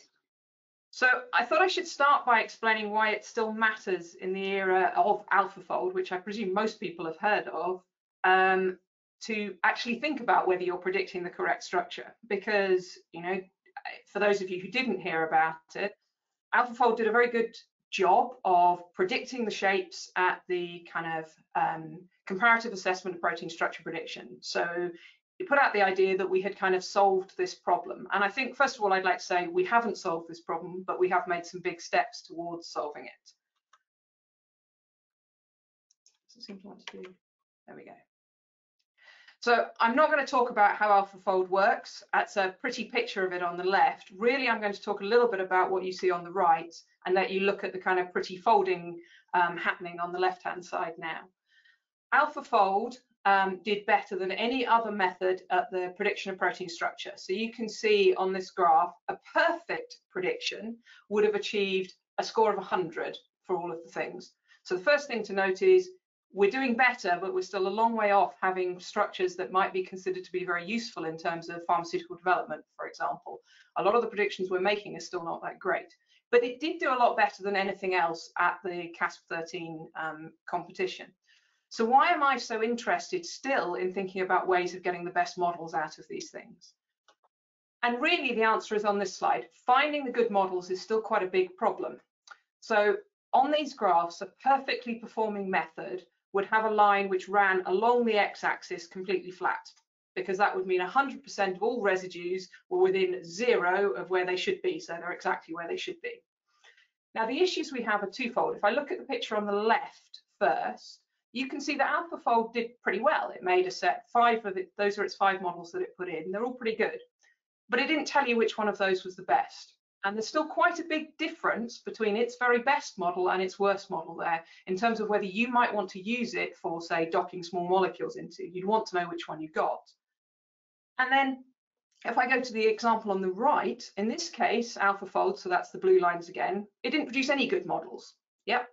But the problem for you as a user is in both these cases, you get the same result, which is AlphaFold gave you a model. What would you do with it? Because it might be really good, like the ones on the left, or it might be not very good at all, like the one on the right. Now, I'm just using AlphaFold as an example here. This problem is true for all of the software in this realm, where what we do is the programs are trained to produce models, so they produce models. And the question needs to be asked whether you should use that model going forward in the types of work you want to do. So very simply, we wanted to set something up which was answered these questions. Can we identify a good model and determine whether it's correct? So we made a sort of decision on what we thought was usability, which is using a particular way of scoring, so better than 0.5 on a value called the TM score. But it doesn't actually matter what we choose for that. You can choose your own categorization using the same techniques. Because we want to know when we have a model we could use for future work. So when will this actually be useful? And we want to find the best possible model. So that's the second stage of this. Given that I can identify I've got a good model, could I find the best one that I have made? And then the second part of this, which I thought was quite important, is actually it's computationally very costly to do protein structure prediction now because you want to build lots and lots of decoys, you want to run your code many times, and particularly if you want to do it for many, many targets, it starts to be one of these things where you want a big supercomputer, or you want to make use of the kinds of computers we hope are coming, like quantum computers, to speed this all up. So could we reduce that burden? So if I could say run my software for a while and check out, do I think I've already got a good model, in which case I'll stop, or do I need to keep going till I find a good model in my set? Is it possible to write code that can actually help you achieve that? The software we're going to use for producing the protein structures here is one that um, we wrote in our group, which is called Saint2. I'll show you later that this works across all different types, but just this is what we were using to produce potential predictions of protein structures. And the difference between this and pretty much all the other software out there is it's biologically inspired. And the most important part of that is it works in the same way that proteins actually fold themselves. So we start with a small piece of protein structure and we extrude. So we make the protein longer through time. And as we do that, we make moves to continuously update the structure. So you can imagine this is almost emulating folding, except we're going to do it with fragments and we're using a Monte Carlo way to do that. And our standard way of doing this, we would generate, say, 10,000 models and then try and select from them the correct model. What I'm actually going to use through the rest of this presentation most of the time is only generating 500 models, because once again, if you want to do 500 or 1,000 test cases and you want to generate 10,000 models, you need very big computers to think about that. So we're starting to think, how can you produce less models and how can you know you've done well when you have produced less models? And the first issue to touch on here, and I think it's really important, it's proved to be incredibly important in this field and something we saw was not always handled well, and it relates a lot to things other speakers have mentioned, is this issue about thinking about your training and your validation and how you do this. So what I'm showing you here are our training and validation sets, and I've actually just split them into three categories based on something called Be Effective. Be effective is actually really the number of homologous sequences you have for a given um, protein. And it's a pretty good indicator because of the way the scoring functions are generated for protein structure prediction of whether you'll get a good answer or not. So you can see here what we've done is we've balanced in terms of this um, be effective, the number of um, targets we have in training and validation of each type, because if we trained with a balanced set and then validated with things which all had to be effective over a thousand, we would think we were really good at doing this because it's pretty easy to get good answers when you're up there. 70% of everything you generate there will have a good answer to go and find. Whereas if you look at things with be effectives less than 100, it's quite rare to get a good answer there. The same things can be seen if you look at the fold class the protein. So if you split by it being an alpha protein, a beta protein, and the same things by length. So these concepts of thinking very carefully about how you are training and how you are validating and the balance between these sets, I think stretches across all of the different problems people work with in machine learning. Now there are lots, well, there are many other programs out there which attempt to rank models. And what we started with obviously is effectively looking at what everyone else had done. So in our 244 cases in our training set, it turns out that within 500 decoys generated by Saint2, there's 151 where there is something we would call a correct model. So we've got a large number of cases where we never produce anything good, and that's pretty standard in this kind of world. So that's kind of what we'd expect. And so best case scenario would be a program that in 151 cases, its number one ranked thing would be the right answer. But I would also like it to tell me that the others are incorrect. Now, the first thing to look at is these are the kind of current scoring functions for doing this. And we, you notice that at the top end of this, for example, is our saint2 function. Now that makes sense because that's the function that goes with our program. So if it didn't do well at ranking with our program, I'd be a bit sad. You can also see some things in there like eigenthreader. These are using the contact maps as a kind of um, fold prediction um, way of doing the evaluation and have not been used in this way before. And it turns out they're very, very effective. Now, the reason we thought it was worth thinking about whether we could build a better model for doing this was if you look at the consensus bar here. Now, this is cheating because I've taken the top answer from everybody and now I can get 121 correct. But obviously that's cheating because I now have lots and lots of potential top ones. But what it's telling me is that these functions don't all give me the same answers. So if I could combine them correctly, potentially I could do better than any individual. So we built something called RFQA model, for doing this model quality assessment. So it, we tested actually many different types of architectures and it turned out for this problem a random forest is a very good classifier. And we get it to output a score. The model is correct, so has a TM score greater than 0.5. But once again, you could set that how you wished.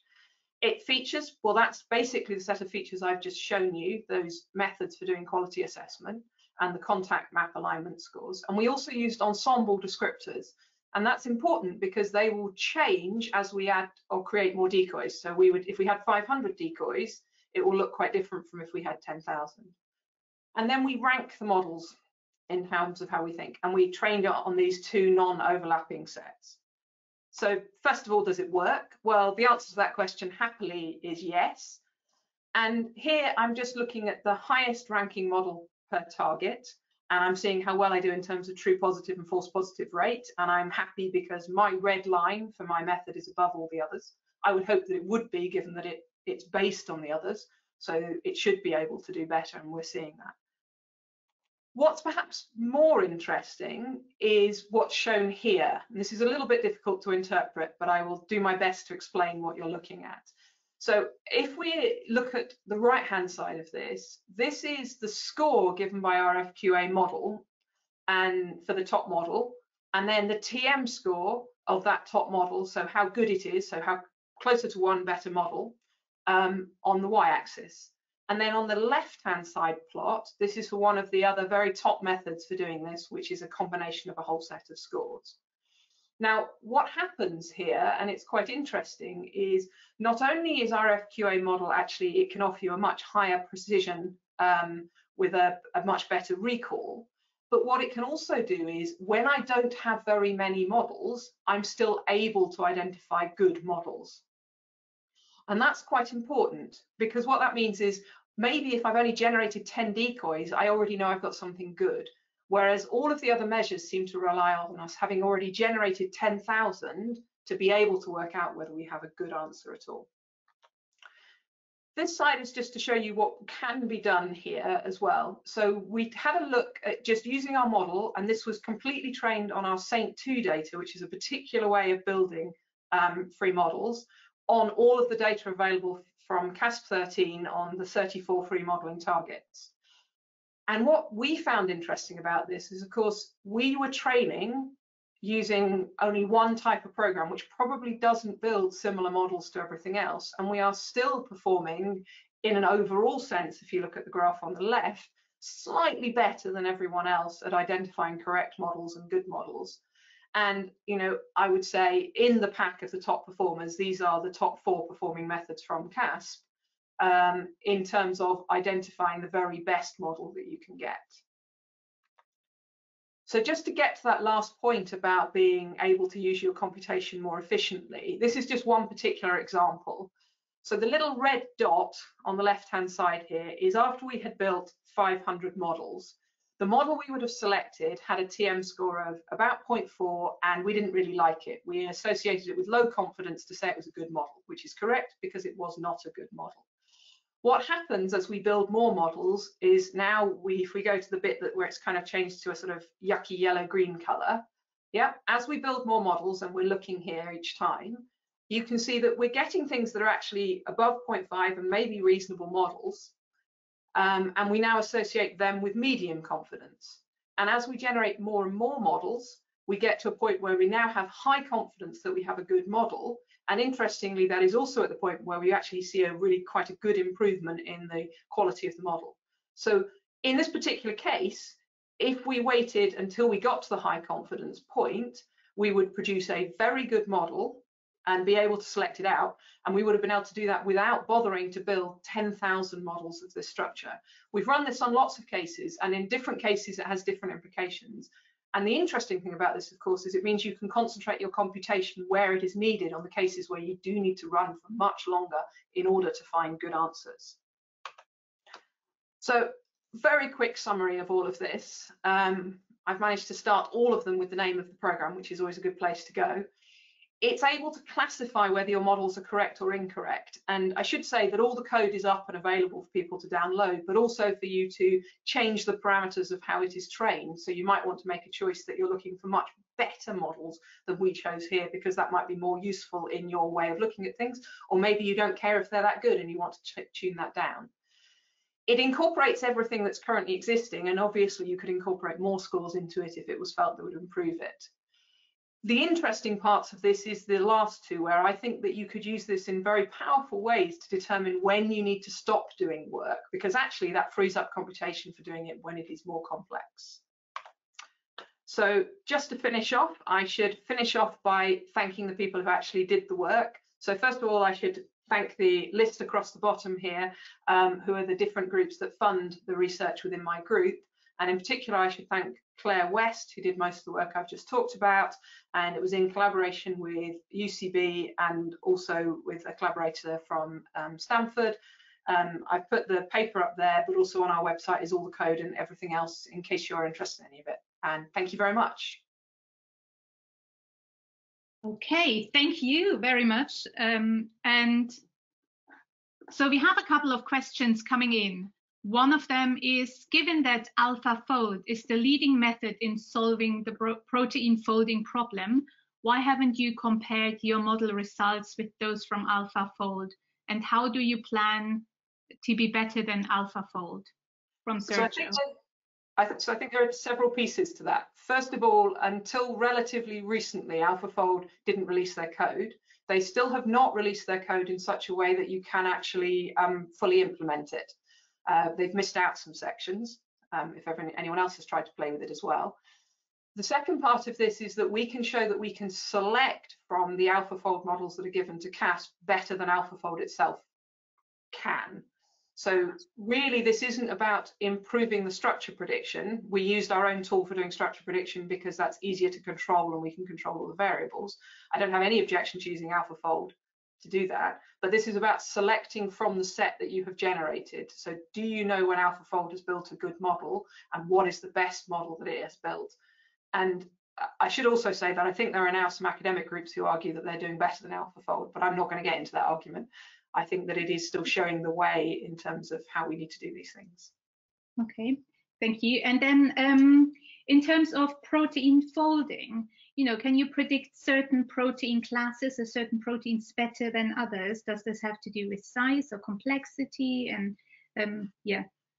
So yes, you definitely can. The first part is size. So um, pretty much none of these programs, and that is AlphaFold included, really get beyond the kind of 200 to 250 residue proteins, which given that average human proteins were up at 300 is still very short. That doesn't mean they never make a good prediction beyond that length, but they're much, much more effective on shorter proteins. The other area that makes them much more effective is the amount of alpha helical content in the protein. Because mm-hmm. alpha helices are basically easier to predict and they are also, if you like, more reproducible between every protein we have ever seen. An alpha helix looks like an alpha helix, looks like an alpha helix, whereas knowing that something's a beta strand, there are many, many more variants of what that might look like, and that seems to cause the programs a great deal more difficulty. And I also think it's the long interaction, so the sort of long in sequence-based interactions between the beta strand proteins that cause further problems as well. Okay, so we take one more question. Um, that's from Dave Curtin. How do you differentiate between a good model versus the best model? So effectively, we've got two different um, scoring systems. I was trying to be as quick as possible through here. So we score to identify if we have a good model. So over a certain confidence threshold, which is 0.5 for us, because that's what makes sense, um, we say we're confident that the model you're looking at is a good model, so it has the right fold. The second question is um, you're actually really attempting to predict the very highest or best TM score or whatever metric you want to use model in the set. And so then you pick the highest probability model that you have got. And once again, that's just a, a question of how you set up your training in terms of doing that. Okay, thank you very much, Charlotte. And um, yeah, great talk. And let's move on to our final presenter. Okay, so um, I'm not the final presenter, but it, it's my delight to introduce Alex Wade, who is. Um, he started his career in academia in the University of Washington and then moved to industry working for Microsoft for over 17 years and, and became director of scholarly communications there. Uh, he now works for the Chan Zuckerberg Initiative uh, around supporting open software for science, and I know some of the Elixir folks have uh, applied for some of that uh, funding calls, and also involved in the Meta project using machine learning to map the latest biomedical research in real time. And um, his talk is um, around essential open source software for science. So away you go, Alex. Thank you very much. I appreciate that. Um, uh, so starting as others have, uh, can people see my screen? the slide visible. Yeah, that's fine. That's fine. I can see your slides. Excellent. So thank you very much. So yes, I am here with the Chan Zuckerberg Initiative, and uh, I'm glad to hear that, that people have applied for our essential open source uh, software for science RFA. I'm going to talk a little bit about that, but to provide some, some context, first of all, one of the uh, primary aims of the science portion of the Chan Zuckerberg Initiative is, is really to uh, support the science and technology that will enable us to cure, prevent, and manage all diseases by the end of the century. And that's sort of dealing with an, an 80-year time frame. Um, one of the things that that became apparent to us as we started up this this organization a couple of years ago and started working with a small number of, of subdomains within biomedical sciences is that um, there were some cross-cutting issues that that were uh, that were coming out, and so we formulated another program within the Science Initiative, the Open Science program that I'm a part of right now, really aimed at, at developing uh, new tools and technologies and supporting more open collaborative models of research. And we're really hoping that we can use this uh, over the, the nearer term to jumpstart some of the, the longer term goals of the organization's organization. We think about this in sort of four ways. One of them is to support the, the platforms that enable the rapid sharing of scientific outputs. Uh, secondly, to remove barriers to knowledge discovery. Uh, a third area that, that really uh, became evident to us early on um, is that the the, the pipeline that, uh, of, of people performing the science didn't necessarily bring them up to speed with the latest uh, uh, computational needs that they would have. And so we really have a strong uh, focus that we're trying to, to, pay more attention to right now in developing computational capacity. And then finally is to support and reward the people that are developing, sharing, and reusing the, uh, the essential open source tools that are powering a lot of the, the biomedical research that's going on today. This talk will focus mostly on the last one and this is an essential open source software for science program, but I wanted to give you a really quick overview of some of the other efforts just to put this all into context. So in the area of preprints, preprints have been around uh, in the physical sciences and computer science uh, for a long time. There actually in biomedical sciences were some early interesting uh, efforts going back to the 60s in, in, sharing biomedical preprints, but they, they never seem to catch on for a variety of reasons. Um, but this chart really shows over the last six or seven years uh, that that, uh, that preprints in biomedicine really have started to take off. Um, we have been supporting for the past few years bioRxiv out of Cold Spring Harbor, uh, but there's obviously a number of others that, that are also accelerating right now. Um, this is sort of a great growth chart. We're looking at, at, how preprints are taking off in biomedicine, but this still really only accounts for uh, you know roughly four percent of the publications that are going into PubMed uh, every year. So it's growing, but it's still relatively small. Um, we'd like to see more of this, especially right now in the, in the current climate of COVID-19. Uh, so if you go back and look at some of the uh, the previous um, epidemic outbreaks in, in, the past decade, two decades with you know, Ebola and Zika, um, we're really seeing a very, very small number of preprints relative to peer, peer-reviewed publications that were sort of mapping as these uh, epidemics were, were spreading. Uh, it, by comparison, if you look at the chart uh, over on the right here, you can really see that in terms of uh, volume, that, that really the community has started to rally around preprints as a way of rapidly sharing this information. So it's it's it's encouraging in that respect. Um, pivoting off, off of that a little bit is is an effort that uh, a couple of my colleagues and I have been involved in in taking a lot of the published uh, peer-reviewed published publications as well as preprints um, and making them openly available through a, uh, an effort called the COVID-19 Open Research Dataset. Uh, this was something that was uh, prompted by the White House OSTP, uh, led by a, a, colleague, former colleague of mine at Georgetown University's uh, CSET, and involved us and the Allen Institute for Artificial Intelligence, uh, Microsoft Research, and Google to make this data set available. Um, this effort started up about five weeks ago. Uh, four weeks ago, we released the, the first data set uh, in middle of March, and we've been updating this uh, roughly weekly since then. So the last uh, update of this went out uh, Friday of last week, and it has approximately 57,000 metadata records, including 45,000 full text records covering not just uh, COVID-19, but the, the entire coronavirus family, including SARS and MERS. Um, so this is something that um, we attempted to do to make it much easier for the machine learning AI community, especially people working in natural language processing, to have a uniformly um, uh, formatted, effectively, uh, collection of machine readable content. Uh, we started with a, a, small corpus of about 1,500 files, 1,500 uh, publications that had been identified by the World Health Organization. Um, we mined everything out of uh, PubMed Central that was relevant. And then working with Cold Spring Harbor, we brought in all of the relevant bioRxiv and medRxiv preprints into this. Semantic Scholar from Allen AI acted as the hub of this effort. And we took what was mostly PDF files, um, but ran them through a PDF text conversion uh, application to both synchronize the metadata around them as well as the full text. So this created a, a single unified collection of, uh, like I said, about 45,000 uh, JSON records uh, that are available in a couple of places right now. Uh, you can get to them from the Semantic Scholar website uh, at Allen AI. And then we've also got a port of that that goes over to a Kaggle website. The Kaggle website is probably an interesting place to start if anybody wants to look at this.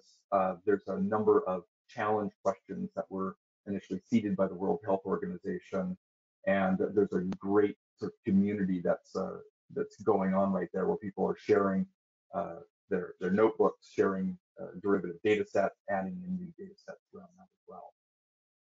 So this all sort of fits under the umbrella of our open science program. Um, we've also been supporting some other efforts for, for making protocols open and shareable and citable uh, through organizations like protocols.io. And one of the things that I think makes the Chan Zuckerberg Initiative uh, unique among philanthropic organizations is that in addition to being a funding organization, we also have a very large technology team in-house. And one of the things that the, the tech team has been working on here and making openly available is an application called Meta. Uh, if anybody is interested, I encourage you to, to log into meta.org and play around with it. Uh, but the, the, general idea is to create a, a current awareness tool that is uh, scanning all of the current literature, preprints as well as published literature, and enables you to create feeds of the sort of real-time publications in areas that are of interest to you. And then finally, as I mentioned earlier, um, the uh, this need for, for increased support for computational capacity amongst biomedical researchers is something that we're currently supporting through efforts like the Carpentries. Now, pivoting onto the to the main thrust of this and, and supporting the invisible foundations of science, uh, it was about a year ago that this image emerged. If anybody can recognize it, it was a major scientific breakthrough and it was the first ever produced image of a black hole.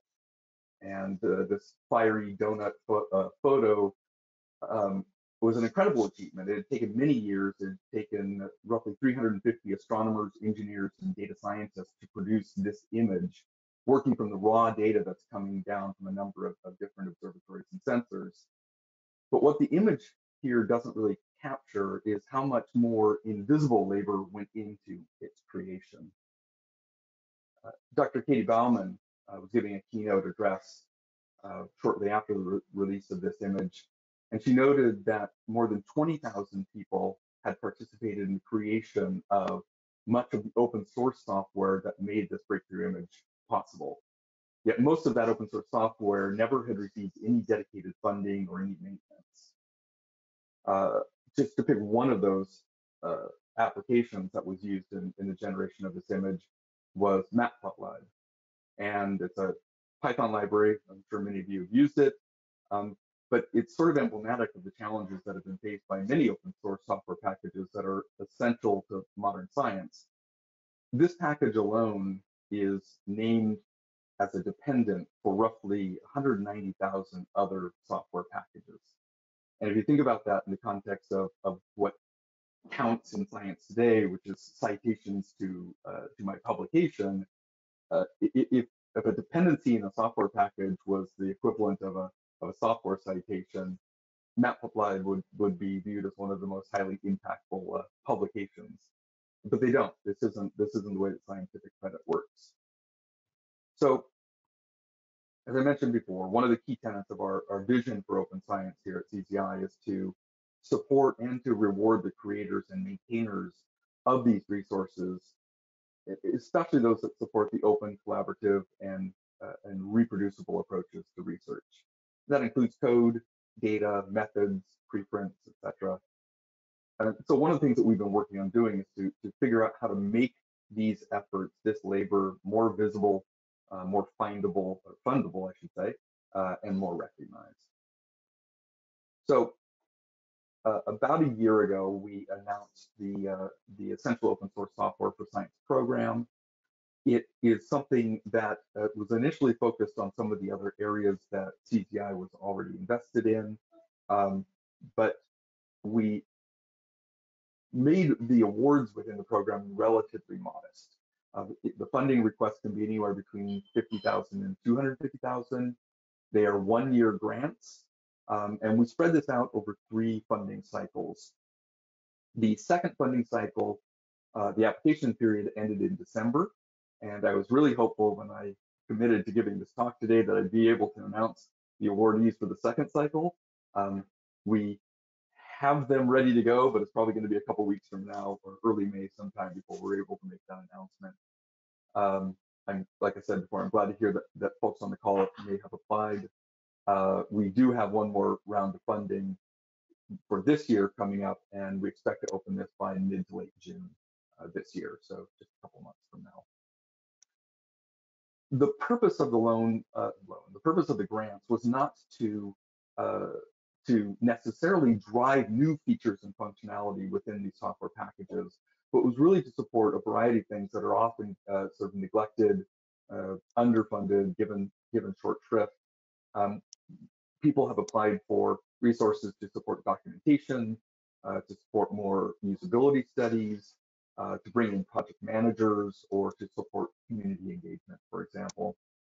And we also uh, um, uh, encouraged applicants to uh, join together multiple open source projects coming together for a single application where they may want to support uh, interoperability between two packages or where there might be two competing software packages to rationalize them and join those together.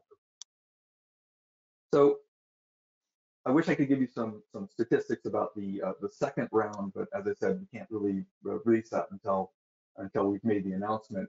But let me give you a sense from the first round of, of applicants that we uh, announced back in November. In the first round, we got just under 300 applications, and since each application can represent multiple open source projects, those 300 applications represented roughly 475 open source projects. The bulk of those were projects hosted on GitHub, um, very strong representation, especially from Python and R, uh, the vast majority of them came from academic organizations, but we also had good representation from industry and nonprofits. And it was globally distributed, but I would say it was heavily skewed to US and, and then Europe, probably. Um, don't read too much into this slide. The, the sort of categorization was done by us, uh, more or less ad hoc, um, but we, we tended to sort of cluster the applications uh, along these fields. Um, this does give you a sense of, of what change, changes happened from round one to round two. Uh, you can see, for example, that 10% of the applications in round one were around imaging and microscopy. Um, that jumped up to about 18% of the applications in round two. And you know, pick another one, uh, the last one there, data management and workflow packages uh, was about 17% of the overall applications in the first round, and that dropped down to about 13% in the second round. So some of the things that we've learned uh, through this process, uh, first of all, it was well received. uh, the, the community uh, appreciated it. Um, there's also been a lot of interest by other funding organizations um, who are uh, curious to see what evaluation metrics we used uh, around how we manage the program. Um, so we are really trying to bring together more funders into this effort. We we hope that we're not the lone uh, philanthropic organization who's paying attention to this stuff. Um, we had some some additional sort of uh, you know reaction here as well. One of one of the uh, the uh, imaging software fellows, one of our other CZI programs, wrote a, a, really nice blog piece on what he felt that this uh, essential open source software for science program meant for the the open source software community. Uh, Nature picked this up and also wrote about it, but he mentioned that uh, supporting supporting the maintenance rather than the development of hot new things was really a sort of critical feature of this, and and that's that's really something that we have seen where uh, open source software packages may get an initial burst of funding as part of other funding, but then once it it sort of goes past that initial development phase, as it becomes more and more useful for the community, is when it gets less and less funding attention traditionally, and that's what we're trying to address here. So del delving a little bit into the evaluation criteria of the applications, um, really we look at uh, uh, about four different dimensions. One of them is, is the impact. Um, so as I mentioned with something like Matplotlib, it's something that is, is uh, a dependency for other programs. We look at uh, how often it has been downloaded, how often it's been forked, um, how how big uh, is the uh, is the, the sort of spread of the software package, you know, especially if you use analogy like like citations. Um, we also look very heavily at the at the quality of the project, and, and one interesting analysis that we did with an organization called CHAOSS was to delve deeper. Th this table over here on the right was not a table that we used as part of the evaluation criteria, um, but this was a post hoc analysis uh, comparing the, the set of applications that we received versus the ones that we funded. And so some interesting things, you know, emerged from that. 90% of the applications that, uh, or the projects were, that were in the applications that we received had documentation, um, but of the ones that we funded, 100% of them did. Um, code of conduct, to, pick the, the bottom one on the list, 46% of the applied uh, applied and eligible projects had a, stated code of conduct for the communities. Um, much higher percentage of the ones that we funded did. And these can all be sort of viewed as indicators, perhaps, of, of the maturity of the project as well. Um, we also looked at the feasibility of the project, and this is sort of an interesting when you go back to the uh, to the comment that the the one recipient had received around not just funding the hot new things. We we got an interesting distribution of um, on the one hand people who are just saying you know I really need funding to to spend six months getting this thing documented or to clean up uh, this aspect of it or to build a better uh, issue tracker and, and community involvement really some of the you know the nut, nuts and bolts of managing an open source community. And on the other hand, people were had very sort of ambitious uh, goals, you know, more along the lines of there's been this great feature that we wanted to work on for a long time. We want funding so we can focus some attention or bring in some additional developer uh, resources to work on that. So sort of evaluating what the uh, what the funding proposal was, what the timelines were, um, against the feasibility backdrop was one of the interesting challenges that we had in this in this process. And then we also looked at uh, at diversity. Um, this was not really an evaluation criteria, but it's something that's been very uh, uh, uh important to us to think about. In the first round of the EOSS grant, we had an optional diversity statement, and we had about 60% of the applications uh, submit a diversity statement many of those diversity statements, um, because we could see when they posted them to GitHub, um, happened to come in very close to the time when they actually submitted their applications. Uh, indicative perhaps of the fact that they didn't have a diversity statement and they created one just in time to get their application in. But in the second round, uh, we actually made that diversity statement required, and that's something that we're now starting to expand to the rest of CZI's uh, RFA process. Um, and then the second thing that we did uh, to this bullet point, second bullet point down at the bottom, is um, we actually uh, asked for optionally uh, some some demographics, especially gender, of not only the applicant but of the the key personnel on the project in EOS S2 round two. Uh, this wasn't uh, anything that we used as part of the decision criteria, uh, but it was important for us to start understanding. we we recognize fully that the uh, that the, the uh, software industry in general, and especially in you know, a lot of the fields that we're funding, has traditionally been uh, significantly skewed towards men. Um, we wanted to see, you know, how how the community that we were attracting uh, through the applications and ultimately funding uh, represented that. And so, uh, stay tuned for, for more information on this because I, I, we've got some some very uh, positive results coming out of the second round. So, as I said, I, I really wish that this slide was uh, was the the reveal of who we're funding in EOSS round two, but just to give you an idea of some of the packages that we were supporting in round one, um, some some very recognizable names here, I'm, sure.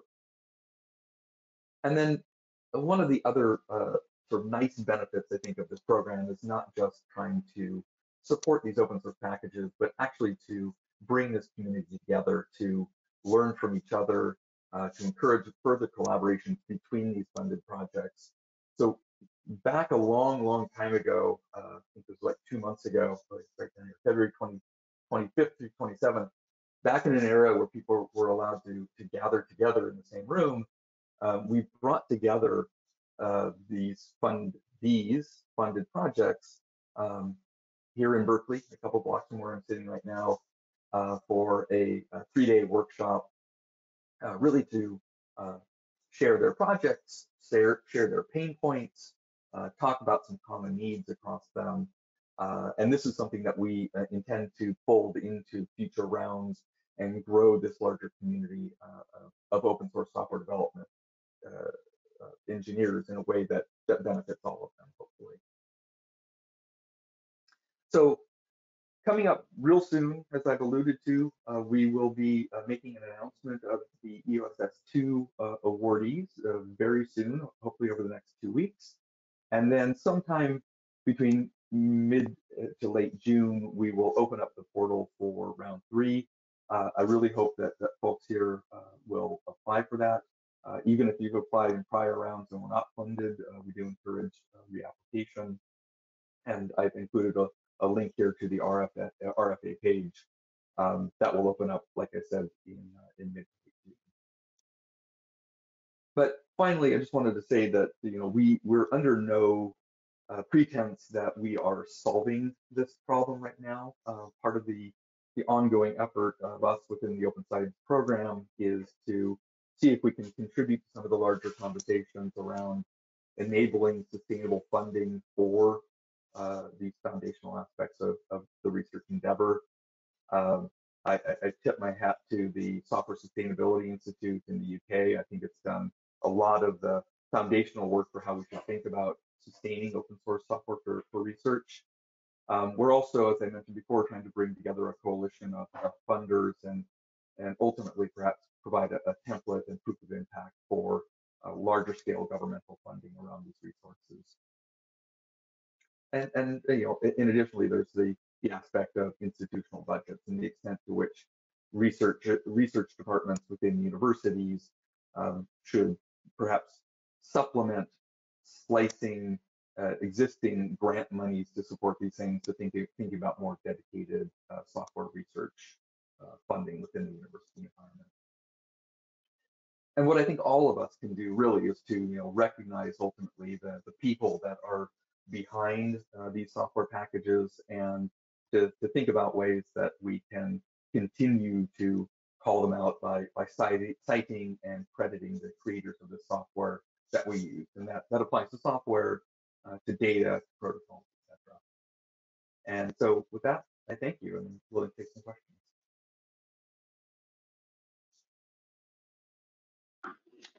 Thank you very much, Alex. That was a, a very great talk. Um, we have some questions coming in. Uh, initially, I'll start off, and I, I, was just wondering what you think the major advantages and also the limitations are for open uh, using open software with actually within a company because as you mentioned a lot of open software is used in the kind of research area but not really taken up by companies i was wondering what your your feeling was uh, on that um, I, I, don't think that's a true statement necessarily. I mean, I think if you look at, a, at companies, you know, especially like um, uh, Google, um, uh, Facebook, uh, there's a lot of software projects. There, there's sort of there's directionality that I think is involved here. So there's software that that starts out um, as private software that then gets spun out as open source, and then there's open source uh, software uh, that is sort of brought in house, and that that directionality works both uh, both ways. Um, when you think about the you know Amazon model, for example, a lot of things that they're hosting within their cloud environment started originally either developed within Amazon or brought in uh, as external uh, projects. So I think when you're talking about sort of major uh, platform level uh, databases and uh, services like Cassandra and others, uh, I, I, don't, I, I, I see um, this sort of very much embedded. This may not necessarily be the same within uh, pharma, for example. Mm. Um, but even that, I think, is a it's a mixed model. I think some things are, and some things that people start to keep uh, more proprietary. Um, within my own career, I spent about uh, 17 years at Microsoft. Uh, Microsoft within the Windows organization, and then about eight years within Microsoft Research. And that I was there during a very significant uh, uh, tide change within that organization, where they started from one point saying that open source software was uh, was anathema. You know, we, we can't use it. We don't believe in it. Hmm. Developers weren't allowed to bring in software packages. We weren't allowed to contribute to open source software packages, and it was sort of two separate worlds. By the time that I left, and over the last four years, um, and you know, significantly um, impacted by uh, Dr. Tony Hey, who's now back in, in the UK, um, we we really led a revolution in the way that, that Microsoft thought about software to the point now where um, uh, licenses, you know, you get a little bit into the weeds there, but you know, to the point where Microsoft is actively now participating in open source software projects, and Microsoft uh, engineers are actively encouraged to bring in relevant packages into the software that they're working on. So, so I mean, I do think that this over the past decade, things have changed even in, in companies that that formerly wouldn't have. Um, we have one question here from Faris Naj. Uh, have you advised for European SME to help the open source, uh, open science initiative? Uh, to, to help our open science initiative? It could be, yes. Uh, I don't know whether they can confirm that. I think it is your open science initiative. Uh, well, uh, send, send me an email. I didn't put my email on here, unfortunately. Send me a, a direct message in, in Twitter. Um, we can talk about that. One area that we are, um, so, so let me sort of back up and, and say two things in response to that. Um, CZI has a very strong preference right now towards competitive RFAs for the for the grants that we give out um, in general. Within the Open Science program, we're a combination of targeted grants, which is some of the things like protocols.io, uh, uh, bioRxiv, for example, we're, we're targeted grants. Uh, and then the Essential Open Source Software for Science is really our sole funding venue right now that uh, is under a competitive RFA over time, we certainly want to expand the number and, and, types and flavor of things that we're funding through competitive RFAs. Um, uh, when we do that, we are constantly in need of finding uh, SMEs, both in terms of the science as well as in terms of the open source technology aspects of that to serve as uh, external reviewers for uh, for our packages. So uh, or for our applications so for the EOSS program, I think we have about, I'm going to say, roughly two dozen um, external reviewers. Uh, so for the applications that we receive in, um, everything goes through at least two internal reviews, both from a domain scientist as well as from a technologist. And then we take a subset of those and we send them out to external reviews where they go through a further three reviews each. And so it's in that latter category where we are always interested in, in finding people who help uh, work with us as external reviewers on, on things. Right now, it's the open source software, um, but but moving forward, it may be areas as well. Okay, perfect.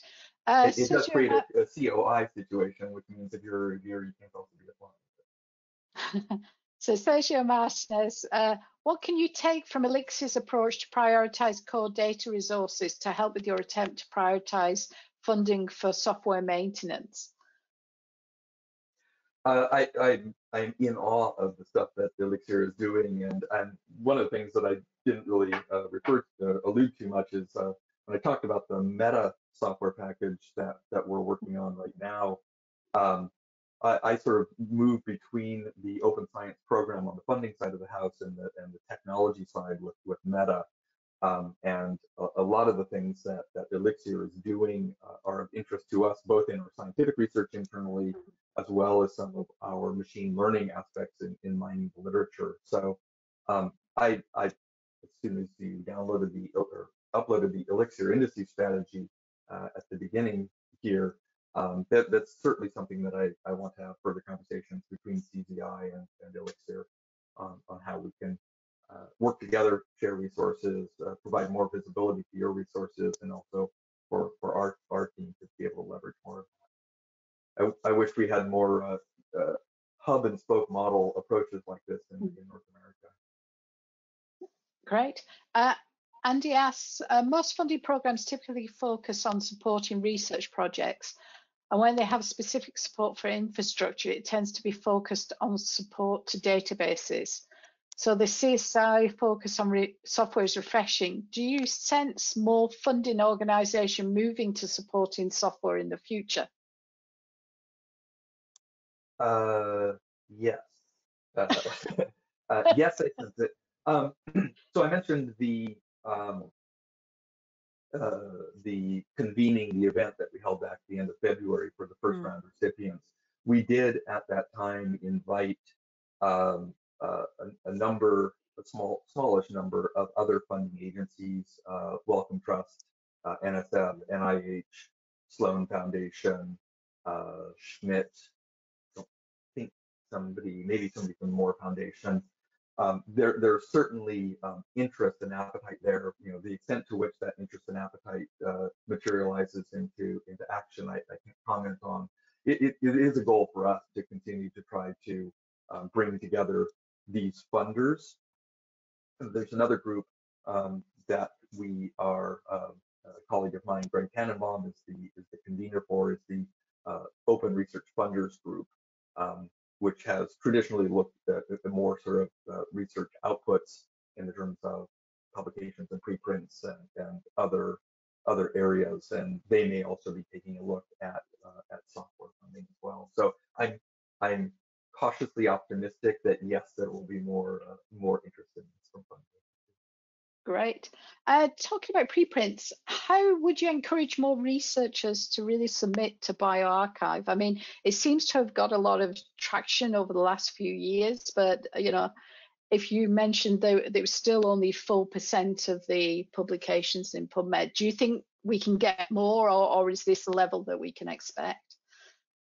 I, I absolutely think that this is going to go up. I think that um, sort of uh, community acceptance of preprints um, is is something that builds uh, upon itself. I think that there was oftentimes a lot of uh, fear, uncertainty, and doubt of what it meant to publish a preprint. Would that preclude you from being able to publish in another publication? Uh, many journals, many publishers used to have explicit policies that said you cannot, you may not submit a manuscript to a journal if it had been priorly submitted as a preprint. And I think like some of the the long-standing holdouts to to that uh, New England Journal of Medicine, you know, being one that comes to mind, um, have, have eliminated those policies in the last couple of years. Now, eliminating those policies and eliminating those biases that exist within the community are not the same thing. And so I think as more researchers dip their toe into the water um, and see that it's an acceptable way, it doesn't prevent you from later submitting or even simultaneously submitting into a publication. Um, uh, I, I, think it will, absolutely grow. One effort that's been uh, taking off, you go back to one of my earlier slides there where I had the color-coded growth chart, is a an effort by Springer Nature uh, that they've only rolled out right now, I believe, to their uh, uh, BMC uh, publications, or sorry, uh, the, the Biomed Central publications is something called In Review, which allows you to submit a manuscript to one of the journals and simultaneously have a copy of that deposited into a Research Square preprint service. Hmm. And then they do a, a, form of open peer review. So it's immediately available. The peer review is happening openly. And then if and when that, the, that preprint submitted manuscript gets accepted for publication, it will then uh, be formally published in the Springer Nature journal, and the preprint will continue to exist. So you, you sort of have this uh, increased transparency and connectedness between a submitted manuscript as a preprint and then the final publication. Uh, and that, that, as I said, Springer Nature has only rolled that out to uh, a limited number of their journals, uh, but already it's increasing uh, the number of preprints in, in biomedicine that's being published. And I've been told by Springer Nature that they do plan to uh, to expand that substantially to uh, most, if not all, of their publications at the time. Okay, great. Uh, I think that is all the questions we have. So I'll thank you again, Alex, for a, a great keynote. And Kathy is here, so I think you'll round up now. Thank you. Yeah, yeah exactly. Um, let me just show my screen. Okay. Well, there's not not much left to say apart from thank you very much to all our speakers um, for sticking around and um, you know preparing for this event. Um, even though I am sure everyone has a lot of work and a lot of um, commitment uh, with their families at the moment. And um, I also wanted to say thank you to Natalia, Tom, and Alessandro. He have um, consulted on the program of the event. Right, um, then this is not the end. Um, we have turned some of the um, sessions that were planned as roundtable discussions at our face-to-face -face event into three virtual webinars focused around um, specific, more specific topics. Um, you can find all the details on our website if you're interested in attending those events. And again, please, if you do not want your details to be shared with other participants, then let me know. So now, um, as we couldn't ask all the speakers um, all questions that were posed posted during the event, you have now the opportunity to raise your hand and to ask um, the remaining speakers more questions if you if you have um, something that you feel still needs to be addressed. Um, I can then unmute you and give you the opportunity to actually ask your question in person. So everyone who wants to ask another question, just raise your hand now. Um, the icon can be found in the control panel.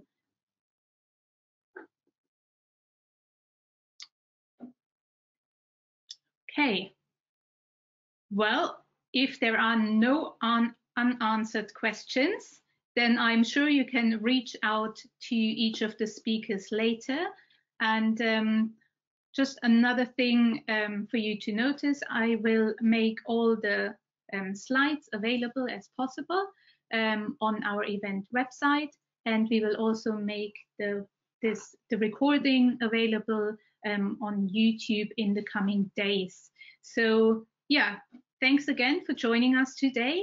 And um, I hope to see you soon at future events. And yeah, again, please fill out the um, feedback survey because it gives us important information on how to um, develop the program and our virtual events. Okay, so have a lovely evening and thank you and see you soon.